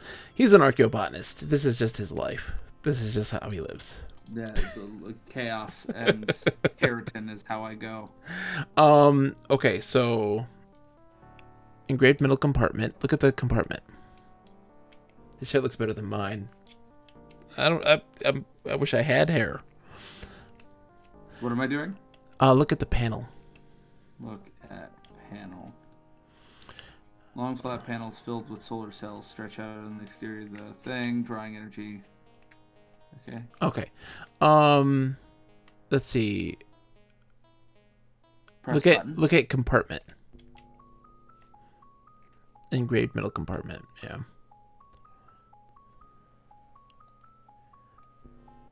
Press Button. Push it. button. Okay, so the entire room hums to life. Lights everywhere flash and cycle. Before a minute has passed, however, the chaos dies back down. In the resulting quiet, the lone compartment on the north wall pops open, revealing a silver globe and a metallic ring. Get globe and ring, baby. Take globe and ring. My April Fool's prank was to send my significant other a can of green beans. No explanation, just beans. okay, look at the globe.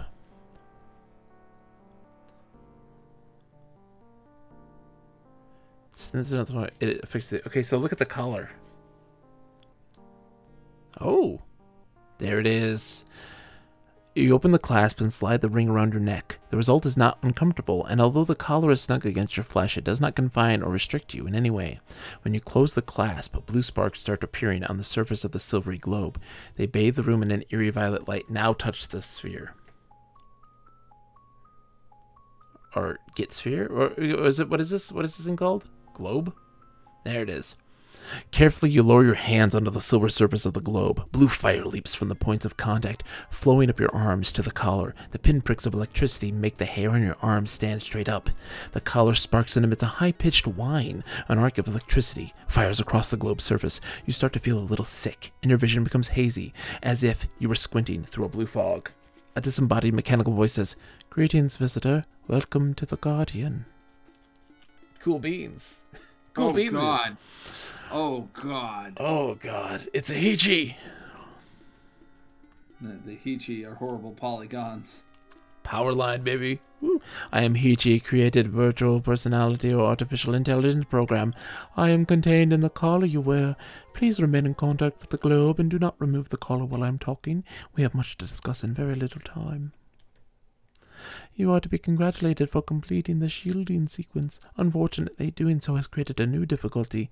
A living assassin resides inside the watchtower, and by activating the final component of the vent system, you have revealed your presence to him. By now, he will have composed a warning message that will alert his race to the existence of a new intelligent species that must be destroyed. This is precisely what the Heechee were trying to avoid.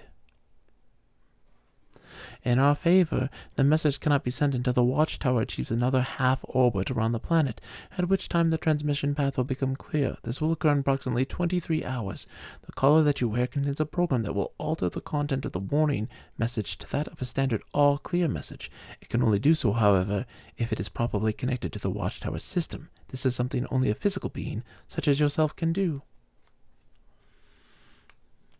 Oh, Max as Powerline from the beginning of the movie. Dude, mm, dude, stand up. The success of the plan relies on one additional step the elimination of the assassin himself. If he remains alive, he will eventually find a way to inform others of his kind about the existence of humans in the Heechee. The assassin is not a meat intelligence like you, he's an electronic intelligence, as am I. You can think of him as a sentient computer program that lives inside the circuits of the watchtower. You cannot destroy the assassin, but I can. It is for this purpose that I was created. At my core, I am a virus program. The plan is simple. A door will open from this room into the travel pod. Go inside. The pod will travel over to the watchtower and attach itself to a special access port on the exterior. You'll see a globe similar to the one here, as well as a hatch. While wearing the collar, touch the globe. This will transfer me into the circuits of the watchtower. Oh, dude, this is okay. Okay. If all goes well, the hatch will open to reveal an intricate panel with a circular indentation on it. Remove the collar and place it on the panel. Colors program will modify the alert message. When you've done these things, the controls to your ship will respond to your commands. You will be free to go. Okay. This should be easy then, right? I know you're wondering why the Heechee did not carry out this plan themselves. The reason is that when the Heechee built the system, defense system, they didn't know there was a live assassin in the watchtower. When they learned of its presence, they became afraid that if they tried to kill the sentry and failed, the assassin would send out the warning message that would trigger the annihilation of the Heechee race. This is why they did not activate the system they had so carefully constructed. Instead, they left the system intact, waiting for another race to develop the capabilities necessary to turn it on. That time is now at hand. Good luck. Wait a second. Wait a second. What? They they didn't turn it on to save the race because they were afraid that by turning on to save the race that the race would die. Well, so what they what they meant was they want to stop the assassins more than anything, and so they had to sacrifice themselves so that way the AI could formulate the plan that could actually do it for the next race that finds them. Okay. Lip says, I was pondering about the song Eye to Eye as shower thoughts the other day. Dude. Mm, such a good dude. The best. Okay. Let's see. The walls are cylindrical and covered with Heechee symbols.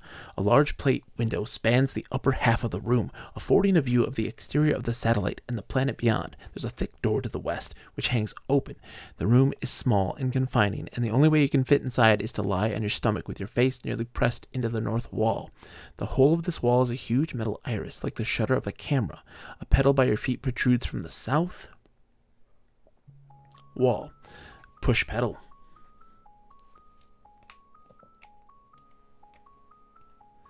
You hear a hissing sound. Yeah. thick metal door clangs shut. A few seconds of silence pass, and then the pod lurches forward. Here we go. Through Through the the plate window, yeah, go see the planet's surface whisk by. In just a few moments, the awesome watchtower comes into view, a moon-shaped satellite so large that it actually has a shallow atmosphere. You've got this, dude. The travel pod continues without hesitation and approaches a large spire jutting from the watchtower's surface. Not long after, the pod brakes and attaches itself to the side of the spire.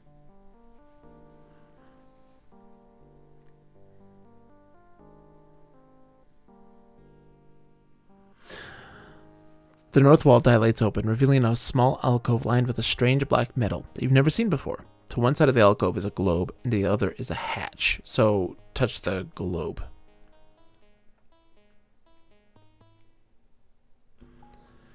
Yep, with a great deal of apprehension, you lower your hands towards the globe. Upon contact, red fire shoots up your arms. The pain is a unique experience, worse than anything you've ever felt or even imagined. The agony becomes unbearable. Red flames dance in your vision. Just as the red haze threatens to overwhelm you, it disappears. Everything becomes clear and the pain subsides. The hatch clicks and falls open. You crawl towards the hatch, but instead of the expected wall of metal, it seems to open on a conventional doorway. Beyond the door, you hear music and laughter. You shake your head, but no trace of the headache or fogginess remains. Suddenly, a young woman appears at the hatch opening. She smiles and says, A new arrival, how wonderful! She sees your collar. Oh, poor dear. Did the Heechee program put you through a great deal of pain? Let me take that. Before you can react, she reaches over and removes the collar from your neck. We all went through the same process. I'll just add it to my collection. She drops the metal ring into a box that contains at least 50 other collars. What? just like it. We also can't have lethal weapons floating around. I'm afraid I'll have to take your gun as well. With an apologetic shrug, the, she gently lifts the gun away with two fingers, as if it were a smelly sock. Now come with me, please. She reaches over and takes your hand. As she guides you through the hatch, you're too shocked and mystified to even think of resisting. Colors in the box is like keys in a fishbowl, right? Oh, dude. This is immense. The vaulted ceiling rises almost out of sight, and the towering windows that look out on the star filled galaxy create the illusion that the room never ends. The scene is graced by an artificial waterfall that feeds a large burbling stream, and a crystal bridge leads north across the stream to a secluded bar. Three large alcoves to the east, west, and south hold amusement booths, each of which feature a different game. The center of the room is dominated by a large marble fountain around which people are gathered in what appears to be a spontaneous party. A serving robot wheels around serving exotic treats to those who ask. To the southeast, you see a closed hatch. The room's decorations is rounded out by a small potted plant. To the southeast, you see a closed hatch. Okay. Your beautiful young guide notices your puzzled expression. You must be curious. Allow me to explain. Like you, we are all prospectors here. Through the years, each of us stumbled on those coordinates by accident when we randomly punched in a course code just to see where it would take us. When we arrived, our ships went dead and we were trapped. The Heechee are keeping us here, but no one knows why. The Heechee have made things comfortable for us, however. They've seen to all of our needs, including food, drink, and entertainment. You must look around and decide for yourself if this is truly a trap, or if it is instead the ultimate reward that every gateway prospector has always hoped for. She hands you a golden card with credit embossed on it. Here's your complimentary credit line. Use it at any of the game booths at the or at the bar. Have fun. Oh my god. This doesn't make sense. Why would I have a credit line? It's all an illusion, Nick. I know, but like, Save. Oh god. why would I have a credit line? Like, uh, why? Why in this utopia? Why in heaven do I have a credit card? because we're in a it's reading your thoughts of what it thinks is most desirable to people in this society now and the society's in a post-capitalistic nightmare oh thank you Vito.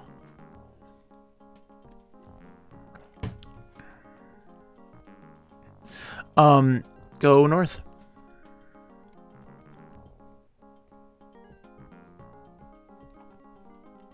well we can read this So you climb over the crystal bridge, admiring the tumultuous flow of the waterfall into the stream.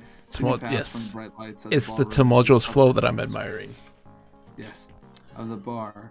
Secluded bar. The bar is very dim, lit only by the starlight from huge windows and this intimate atmosphere. The women around the curved bar seem especially attractive. A few of them seem to have noted your arrival with interest. Behind it, a bar bot trundles quickly um, from customer to customer, serving drinks. Uh, wait. Uh, where are we? A poker Uh, game. A poker game seems to be in session at a table to the west. A closed door is located to the north wall, and a bridge crosses the stream to the south. We aren't gonna beat this tonight. Woman draws circles on the bar with her finger staring at you. Oh, we aren't gonna beat this game tonight, are we? I don't think so. North. Let's just see what happens. Open door. You try and slide the door open with your bare hands, but you can't seem to get a grip on it. After a couple times, you give up in frustration. I don't want to talk to this lady. West. It's a distraction. Fuck that lady. Sorry, but a rough man mumbles. We're in the middle of the game. Maybe a little later. Okay, talk to the lady. Where is she? Sit, sit, just sit. Um, look at woman.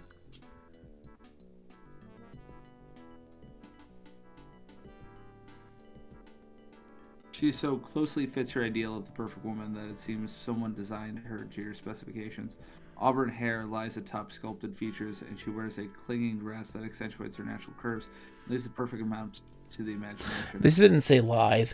Um, then just go south. I don't want to deal with this lady. Go uh west.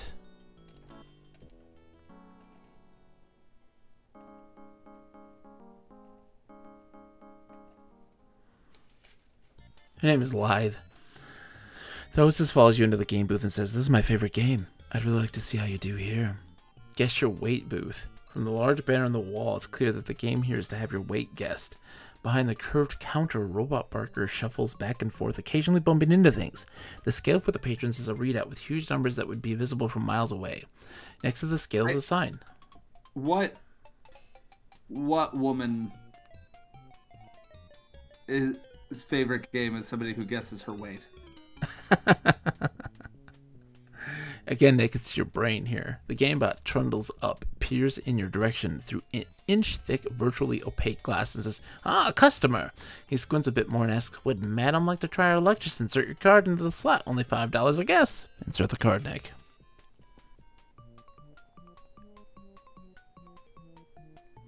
You use the, yeah. In slot. When did I become a madam? Thank you. Oh, it's the lady that you're guessing. It's people like you that make my job the joy that it is now. Let me see. The gamebot makes a show of looking you over. I'd have to say you weigh 389 pounds. So step on the scale. We'll see if you win. Hold on. Drop all. Uh, get on scale.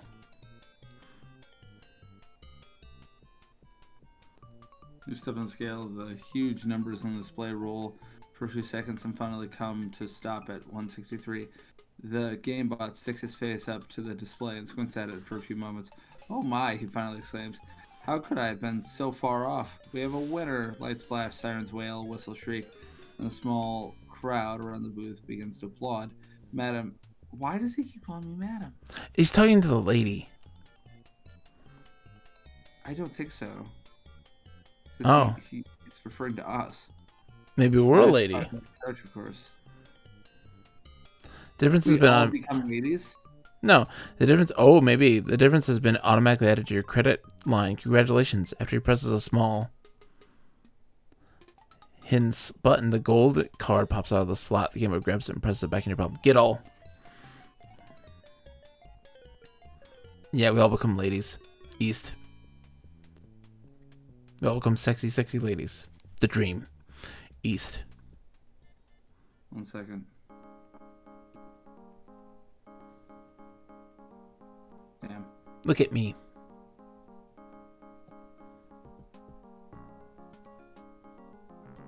Alright. East.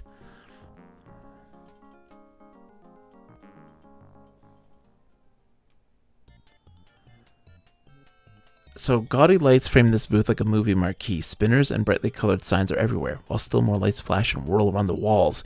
The word that instantly doesn't leap into your mind is subtle. On a shelf against the far wall are three pyramid formations of six bottles each. Behind the counter, a GameBot wheels back and forth, barking, Everyone's a winner! A sign and a slot are set into the post behind the counter. On the counter, you see a ball. GameBot rolls up to you and exclaims,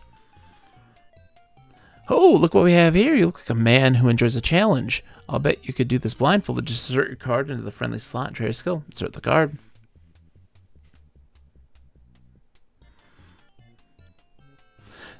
Alright, a true gamesman you are, sir. Ready to take up the challenge. Well, I shan't delay you. Take this ball and toss it towards your bottle, yon bottles. Your skill and it. Oh! Nick. Nick. What? What do we do to get out of a virtual reality simulation? You break it? You do the unexpected. The things it doesn't want you to do. Throw a ball at robot? Hold on. Take this ball and toss it towards John Bottles. Yeah, throw ball at pure, at at sorry at robot.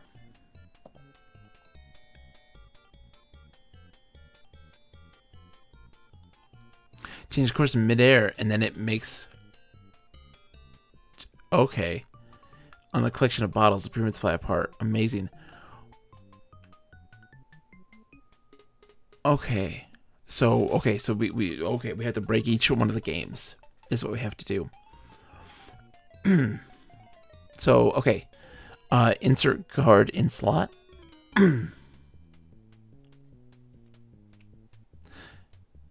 uh out.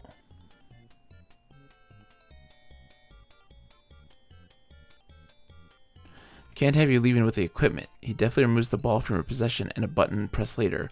The card flies out. Okay. Um go uh south.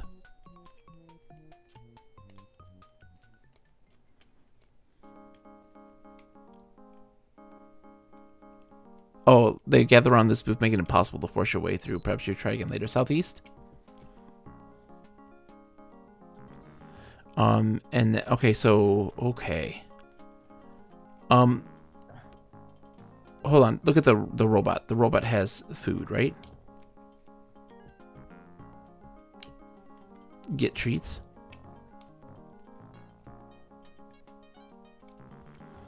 Okay, and look at the plant. There's a plant here too. It's to look decorative. Okay. Look at the bridge. There's a lot to take in here. Oh my gosh.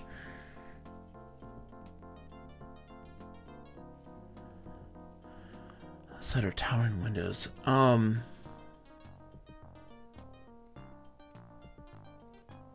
Jump in the fountain. Get in fountain. Okay. Um. North.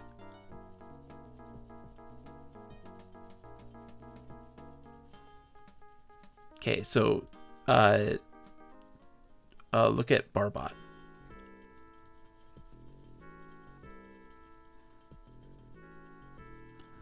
The Barbot is made in the shape of a woman. She moves rapidly, seeming to serve everyone at once. Uh, order drink.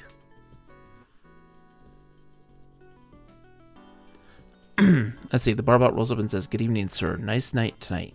Why don't you relax while I get you one of your special drinks? Guaranteed to lighten your step. Only five dollars." The robot rummages under the counter and produces a bottle labeled "The Good Stuff." She pours a glass and sets it down on the counter.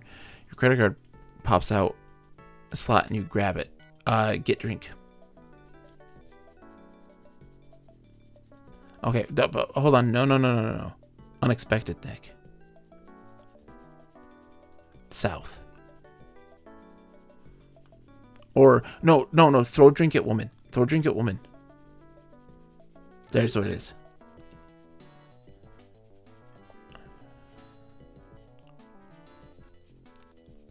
As you attempt to rid yourself of the shot glass, the service robot rolls up and whisks it away, saying, Let me take that for you. Oh, okay. Okay. Let's go to the. No. You gotta have a fairly good sized bankroll if you want to sit in. No debtors here, and frankly, you don't look like lucky. Now beat it. So we need to get more money. I don't know if that's right. Maybe it is. Maybe it is. I mean, is there anything else to interact with? You're right. Um, uh, give drink to woman. Give drink to woman. Thank you. She accepts the drink and slowly savors the liquor while gazing at you over the rim of the glass. When she finishes, she returns the glass and gives you a beautiful smile. Do you want to keep getting her drunk? Order drink. Give drink to woman.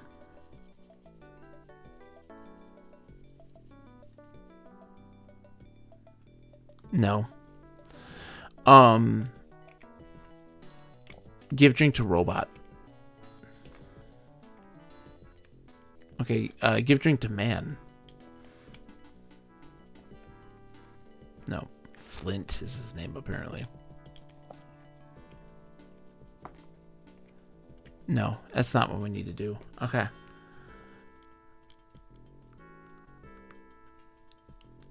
Ask woman about bar. You greet her warmly and she looks at you mischievously and snuggles up beside you. Hello, handsome. I've been waiting for watching you. You're new here, aren't you? I'll bet you have the most exciting stories to tell. She glances at the back room. Would you like to go someplace private where we can talk? No.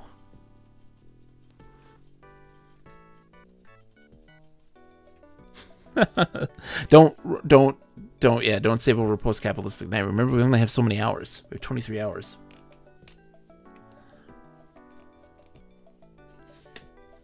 Say yes. Oh. Say yes. Oh. Um. I think we have to kind of establish some things first and then then because i don't think it's meant for us to realize that we're in a simulation yet. We'll go when you're ready. Okay. So, um, south.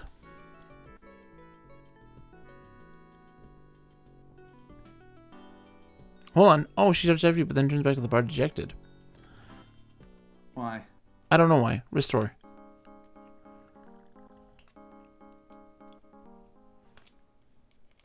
So we say yes. Bar's very him. Yep. So yeah, enter and then yes. Lead we'll go when you're ready. Uh stand. Okay. Um tell woman to follow.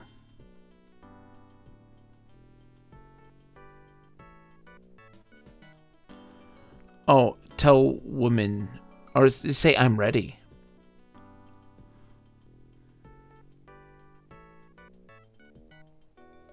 Oh, um. Okay, say ready. Just type ready. Okay. What are the? Uh, we went north before. No, north is a closed door we can't open. Maybe that's the room. Um.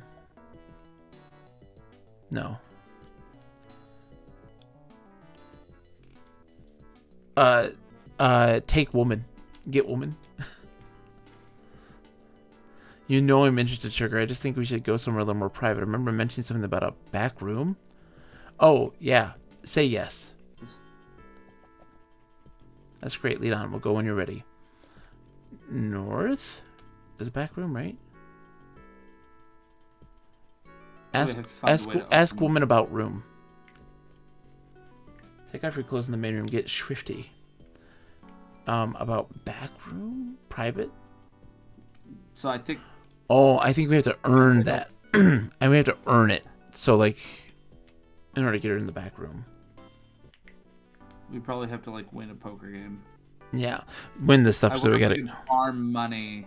That might be what we have to do. I don't know. Uh, the, the weight game. Yeah, and then in that moment when we have this lady and she's ready to for us to do her, and we're just like, nope, we walk away, and then it all fades, you know? I don't like this. Nick's like, I don't. I, this is too horny for me. I'm with you, Nick. I'm with you. Uh, just go south. Go south. So go west.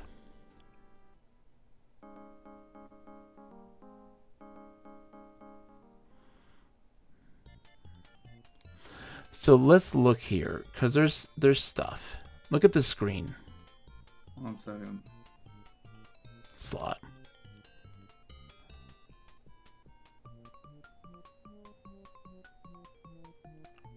No, get on the scale. I want to see if he's right.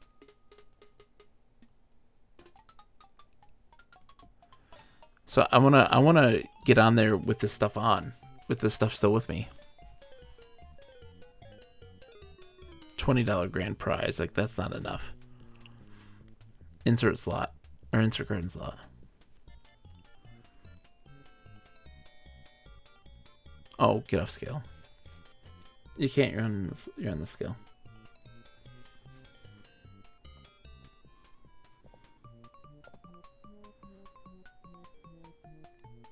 Oh, it changes all the time. Uh, get on the scale.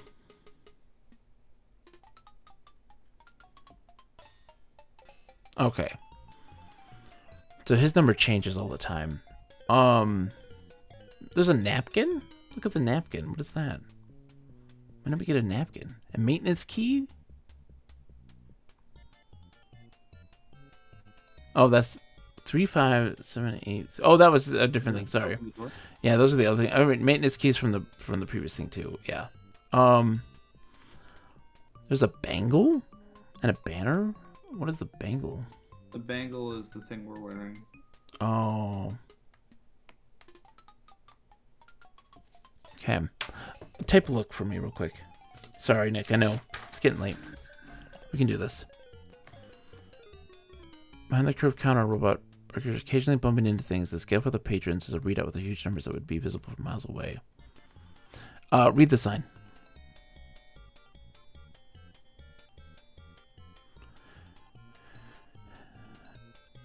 If the guest is not within, so we have to mess with the system. We're trying to be 160. We're trying to be whatever his weight is. Yeah, uh, look at the scale. I don't think this tells anything. Look at the display. It, there's gonna be something.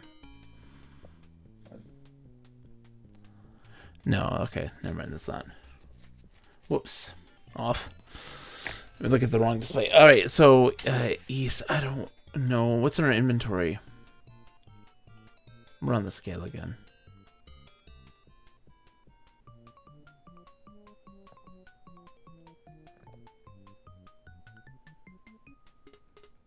Yeah, 542 pounds. Like, um, put robot on scale.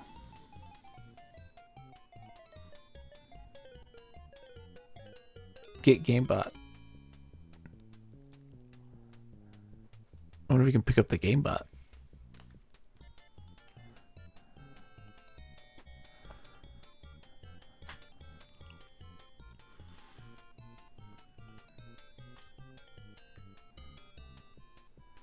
Okay. Push GameBot?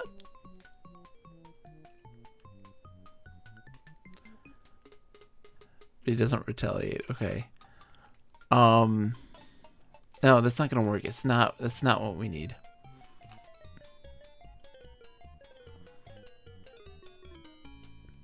No, it's not gonna work. We need we need something to, to fix that. Um Alright, so go east. Just leave.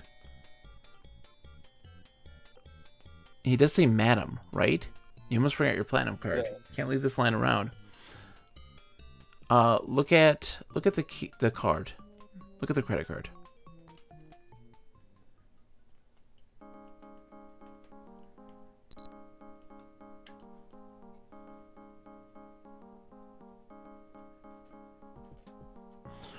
Um. All right. Uh, look at the treat we got. What is the treat? We got a treat. It's five dollars. What is five dollars? We have seventy-five dollars. Yes. That's why we can't play the poker game. Yeah, I know. Find a way to make money. Yeah, I think. Well, yeah. Well, but let's see. Uh, look. Can we look at the treat we have? Huh? Look at the treat. We got a treat from the robot.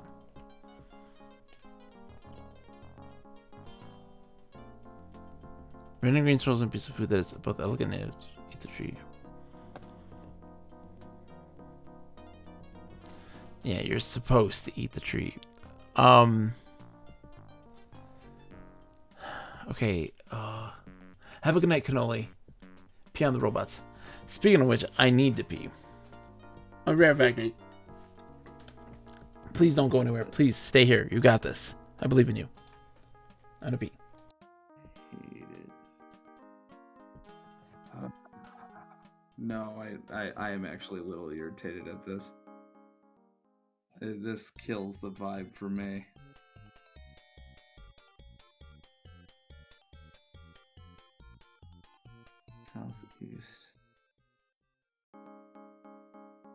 Okay, so I can't go southeast.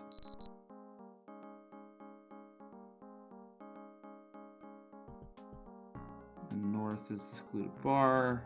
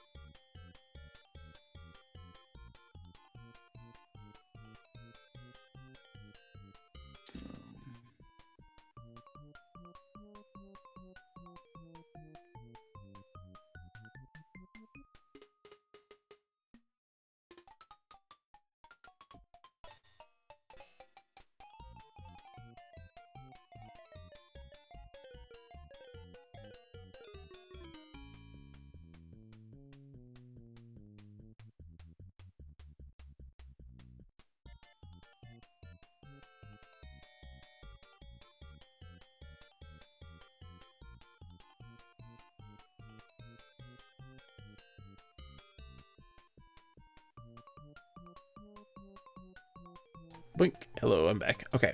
So can we go Can we go and do uh go go throw the thing, throw the ball. Throw the ball, whatever. Trying to lose. I know. How do you lose? Because you always win. Throw the ball. Let's see if there's more to this place. Now remember it said it wanted because we had the there's another booth that we haven't gone to, but we hadn't done all the games yet. Maybe that has opened up. Maybe it wants us to play all the games, like to get the fact that we can't lose. I only see two games. Go west. There's a booth to the south that had a crowd that that broke things up. So west and then south.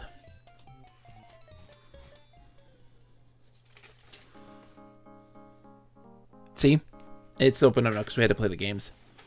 Wait, It's just this. south was this? But that's the same game. Hold on. A robot burger shows back and forth, occasionally bumping into things. The scale for the patron is a readout with huge numbers. Peers in your direction through inch- customer. Yeah, there's just three things that we can interact with. There's the bar, this, and the. Go north then and go west.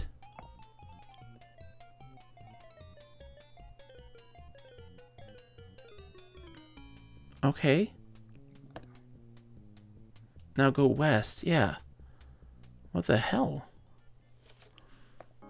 Okay. That's the ball throw booth. That's not right, right? That's not right. I don't remember. No, okay, so go east. I'm sorry, Nick. None of this is right. Go east now. I swear that wasn't right. Have the fortune booth. Here we go. Here we go. Here we go. Okay. At the popular booth, which is decorated with gaudy lights, streamers, and signs, the booth is manned by a gamebot who seems to really enjoy his work. He rolls back and forth in front of a large wheel that has a li- nine numbered sections on it. The counter in front of him also has nine slots, one for every number on the wheel. Gamebot barks, "Hurry, hurry! Place your bets on lucky wheel. Fifty dollars a bet, but worth. Oh, we had to have fifty bucks, so worth it. Every nickel. Play the most popular game around. Separate up, my good man. Fifty dollars a pop might seem a little steep for a one hundred dollar prize, but we're the most fun around, and nobody gets a. I think okay. Um, read the sign.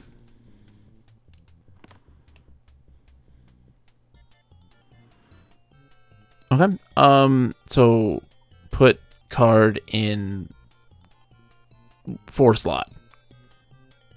Slot four. Label four. It makes a soft click and the number begins to glow. The card then pops out in your hand. The game says, "Please hold on to your card. If too many people bet, it gets a bit confusing when it comes time to reclaim them." Any other takers? Get your bets in now before the big wheel starts spinning. Put our card on another number.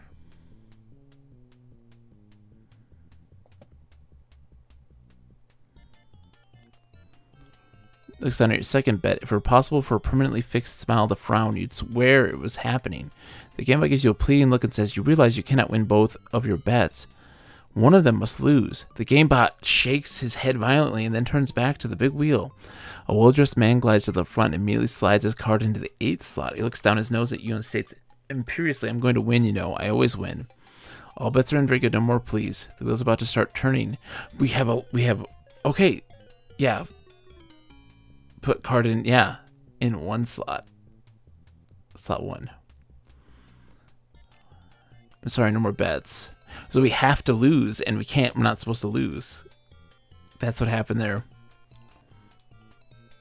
The huge wheel spins quickly. The gamebot and the crowd stare at it anxiously. As it slows the people around you appear almost panic stricken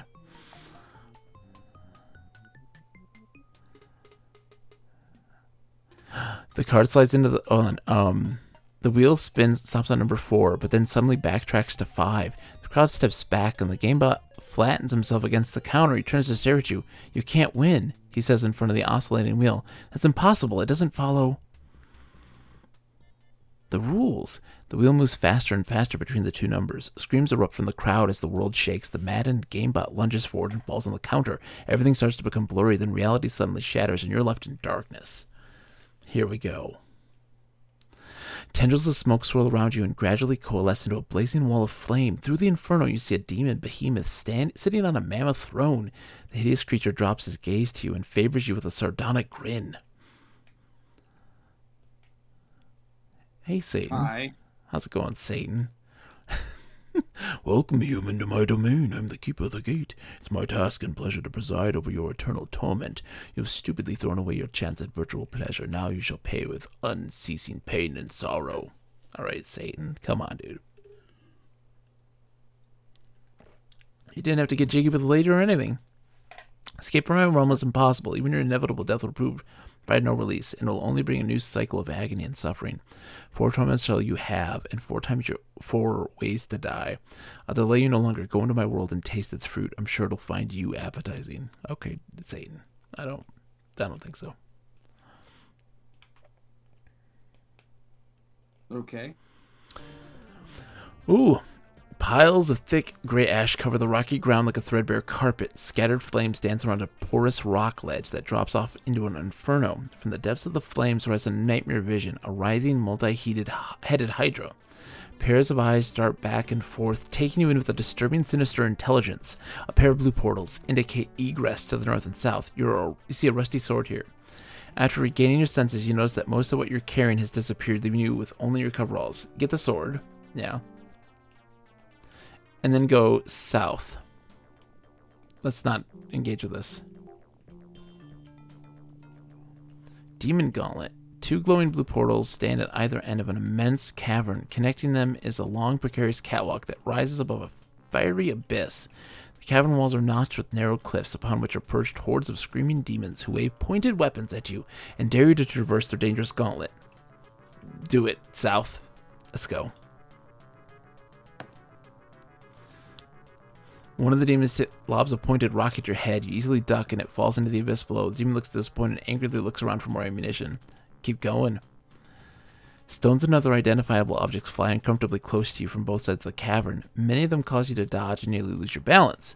Some of the demons, frustrated with the misses, start to gather together a rope net. Keep going south. The demons have a rope net on, at you. Heave a rope net at you. Try to dive out of the way, but there's not enough room on the catwalk, and the net ensnares you. Cut rope with sword.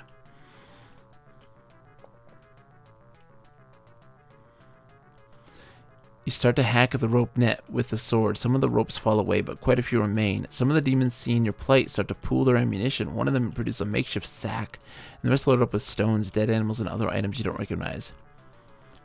Um, can we do that again? Yeah. You, the loosened net falls around your feet. The largest, meanest demon you've ever seen, although you don't really have all that much experience with them, grabs the sack, rolls it around his head, and releases it straight at you.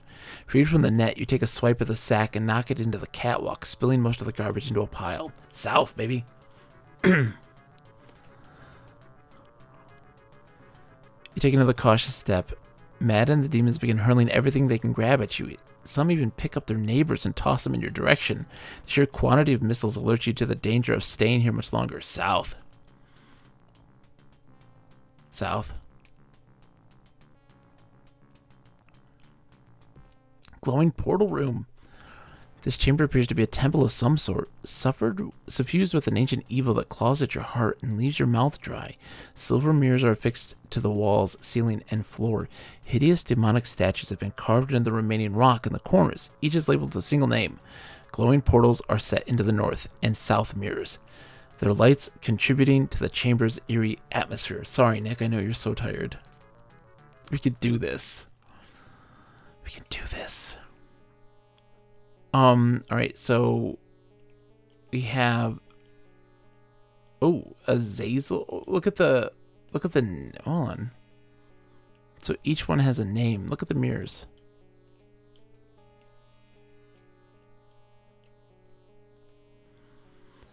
The mirrors set into the walls, ceiling, and floor are forged from silver and are highly polished, although they seem very old. The light from the portals is thrown back and forth between them, casting a bluish hue over everything in the room. It seems to support your weight well. Look at Abaddon? Like, what is. Oh, they'll have names. Yeah. So look at Abaddon. How do you spell that? A B A D D O N. Statues hidden by shadows. You can make out the dark form of long hooked wings, but exact features escape you. And then look at Aeshma, which is it's in the that word bank. Long tail and fingers. It glares into the room with multifaceted eyes, and its hideous grin reveals sharp, wicked fangs. Okay. I don't go south. We can go south. Let's just go south. This is a huge natural cavern, an eerie landscape of malformed stalagmites and stalactites. In the Stygian gloom, you notice that the point of a nearby stalagmite is broken off, leaving behind a flat stump. You hear a scuffle, but can't pin on where it's coming from because of the echoes. Uh, get stump? Okay. Um.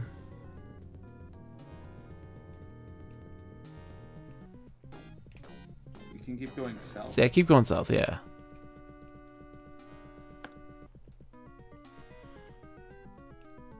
Okay. Uh kill Hydra. Oh, there's a rock here. Look at the rock. Maybe we gotta break the mirrors. Why I'm are you guessing. so obsessed with rocks? I feel like we gotta throw rocks at things. Yep. So north. And then north. Break mirrors with rock.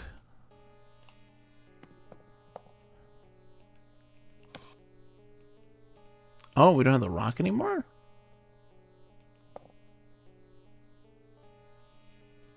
Okay. Enter mirrors.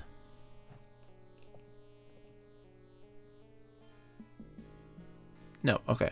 So go south again to that rock. I want to see if we can do something with the hydras with it then. I think each room is kind of self-contained almost. Yeah, so south. Get rock.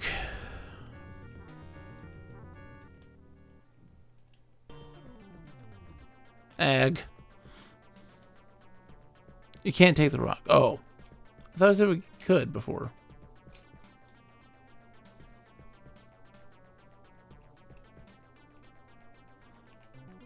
Ooh. Do it again.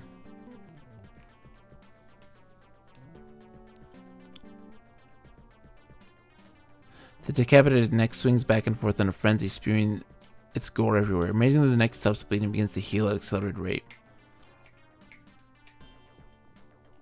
Uh, do it again anyways. Again.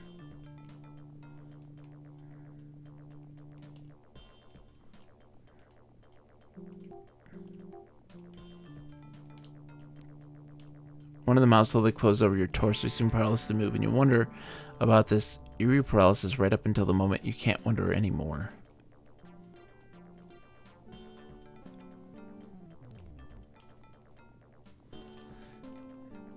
By simply dying, did you think it would be that easy? We're just starting to have fun. Okay, let's pick up the head after we chop it off. So get sword.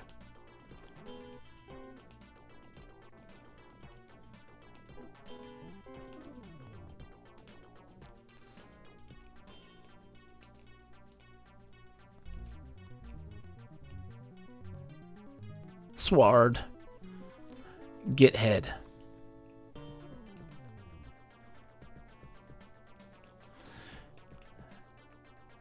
Okay. Oh, maybe push it in the flames.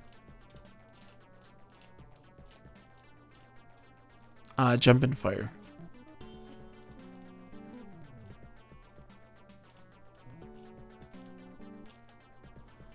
Okay. We have to do something with it with the head. And I think pushing it in the flames is probably what we gotta do.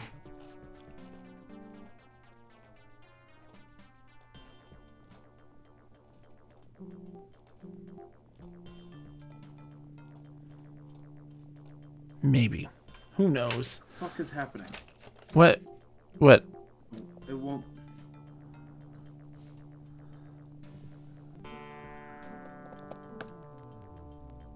Oh, man. Alright. Yeah. If not, then we might have to save it and do this again another time. Uh.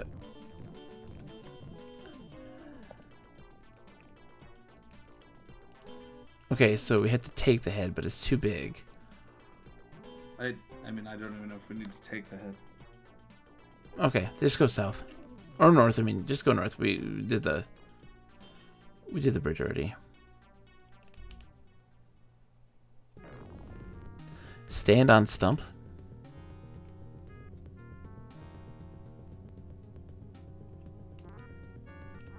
Uh, put sword on stump. That's what I'm just guessing here.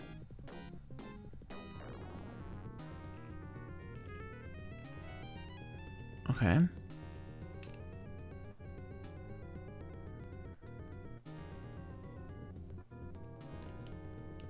Okay. Hmm. Heater, how's it going?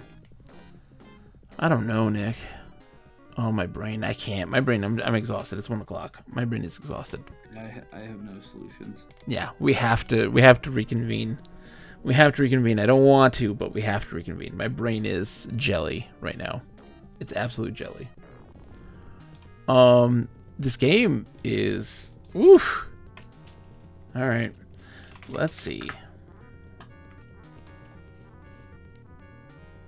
Who's on? Um, let's go say hi to somebody. Ooh. Well, Nick, we'll get this again some point, right? We'll get there. We'll get there. We'll we'll eventually beat it. I know, right? Um, who is on right now?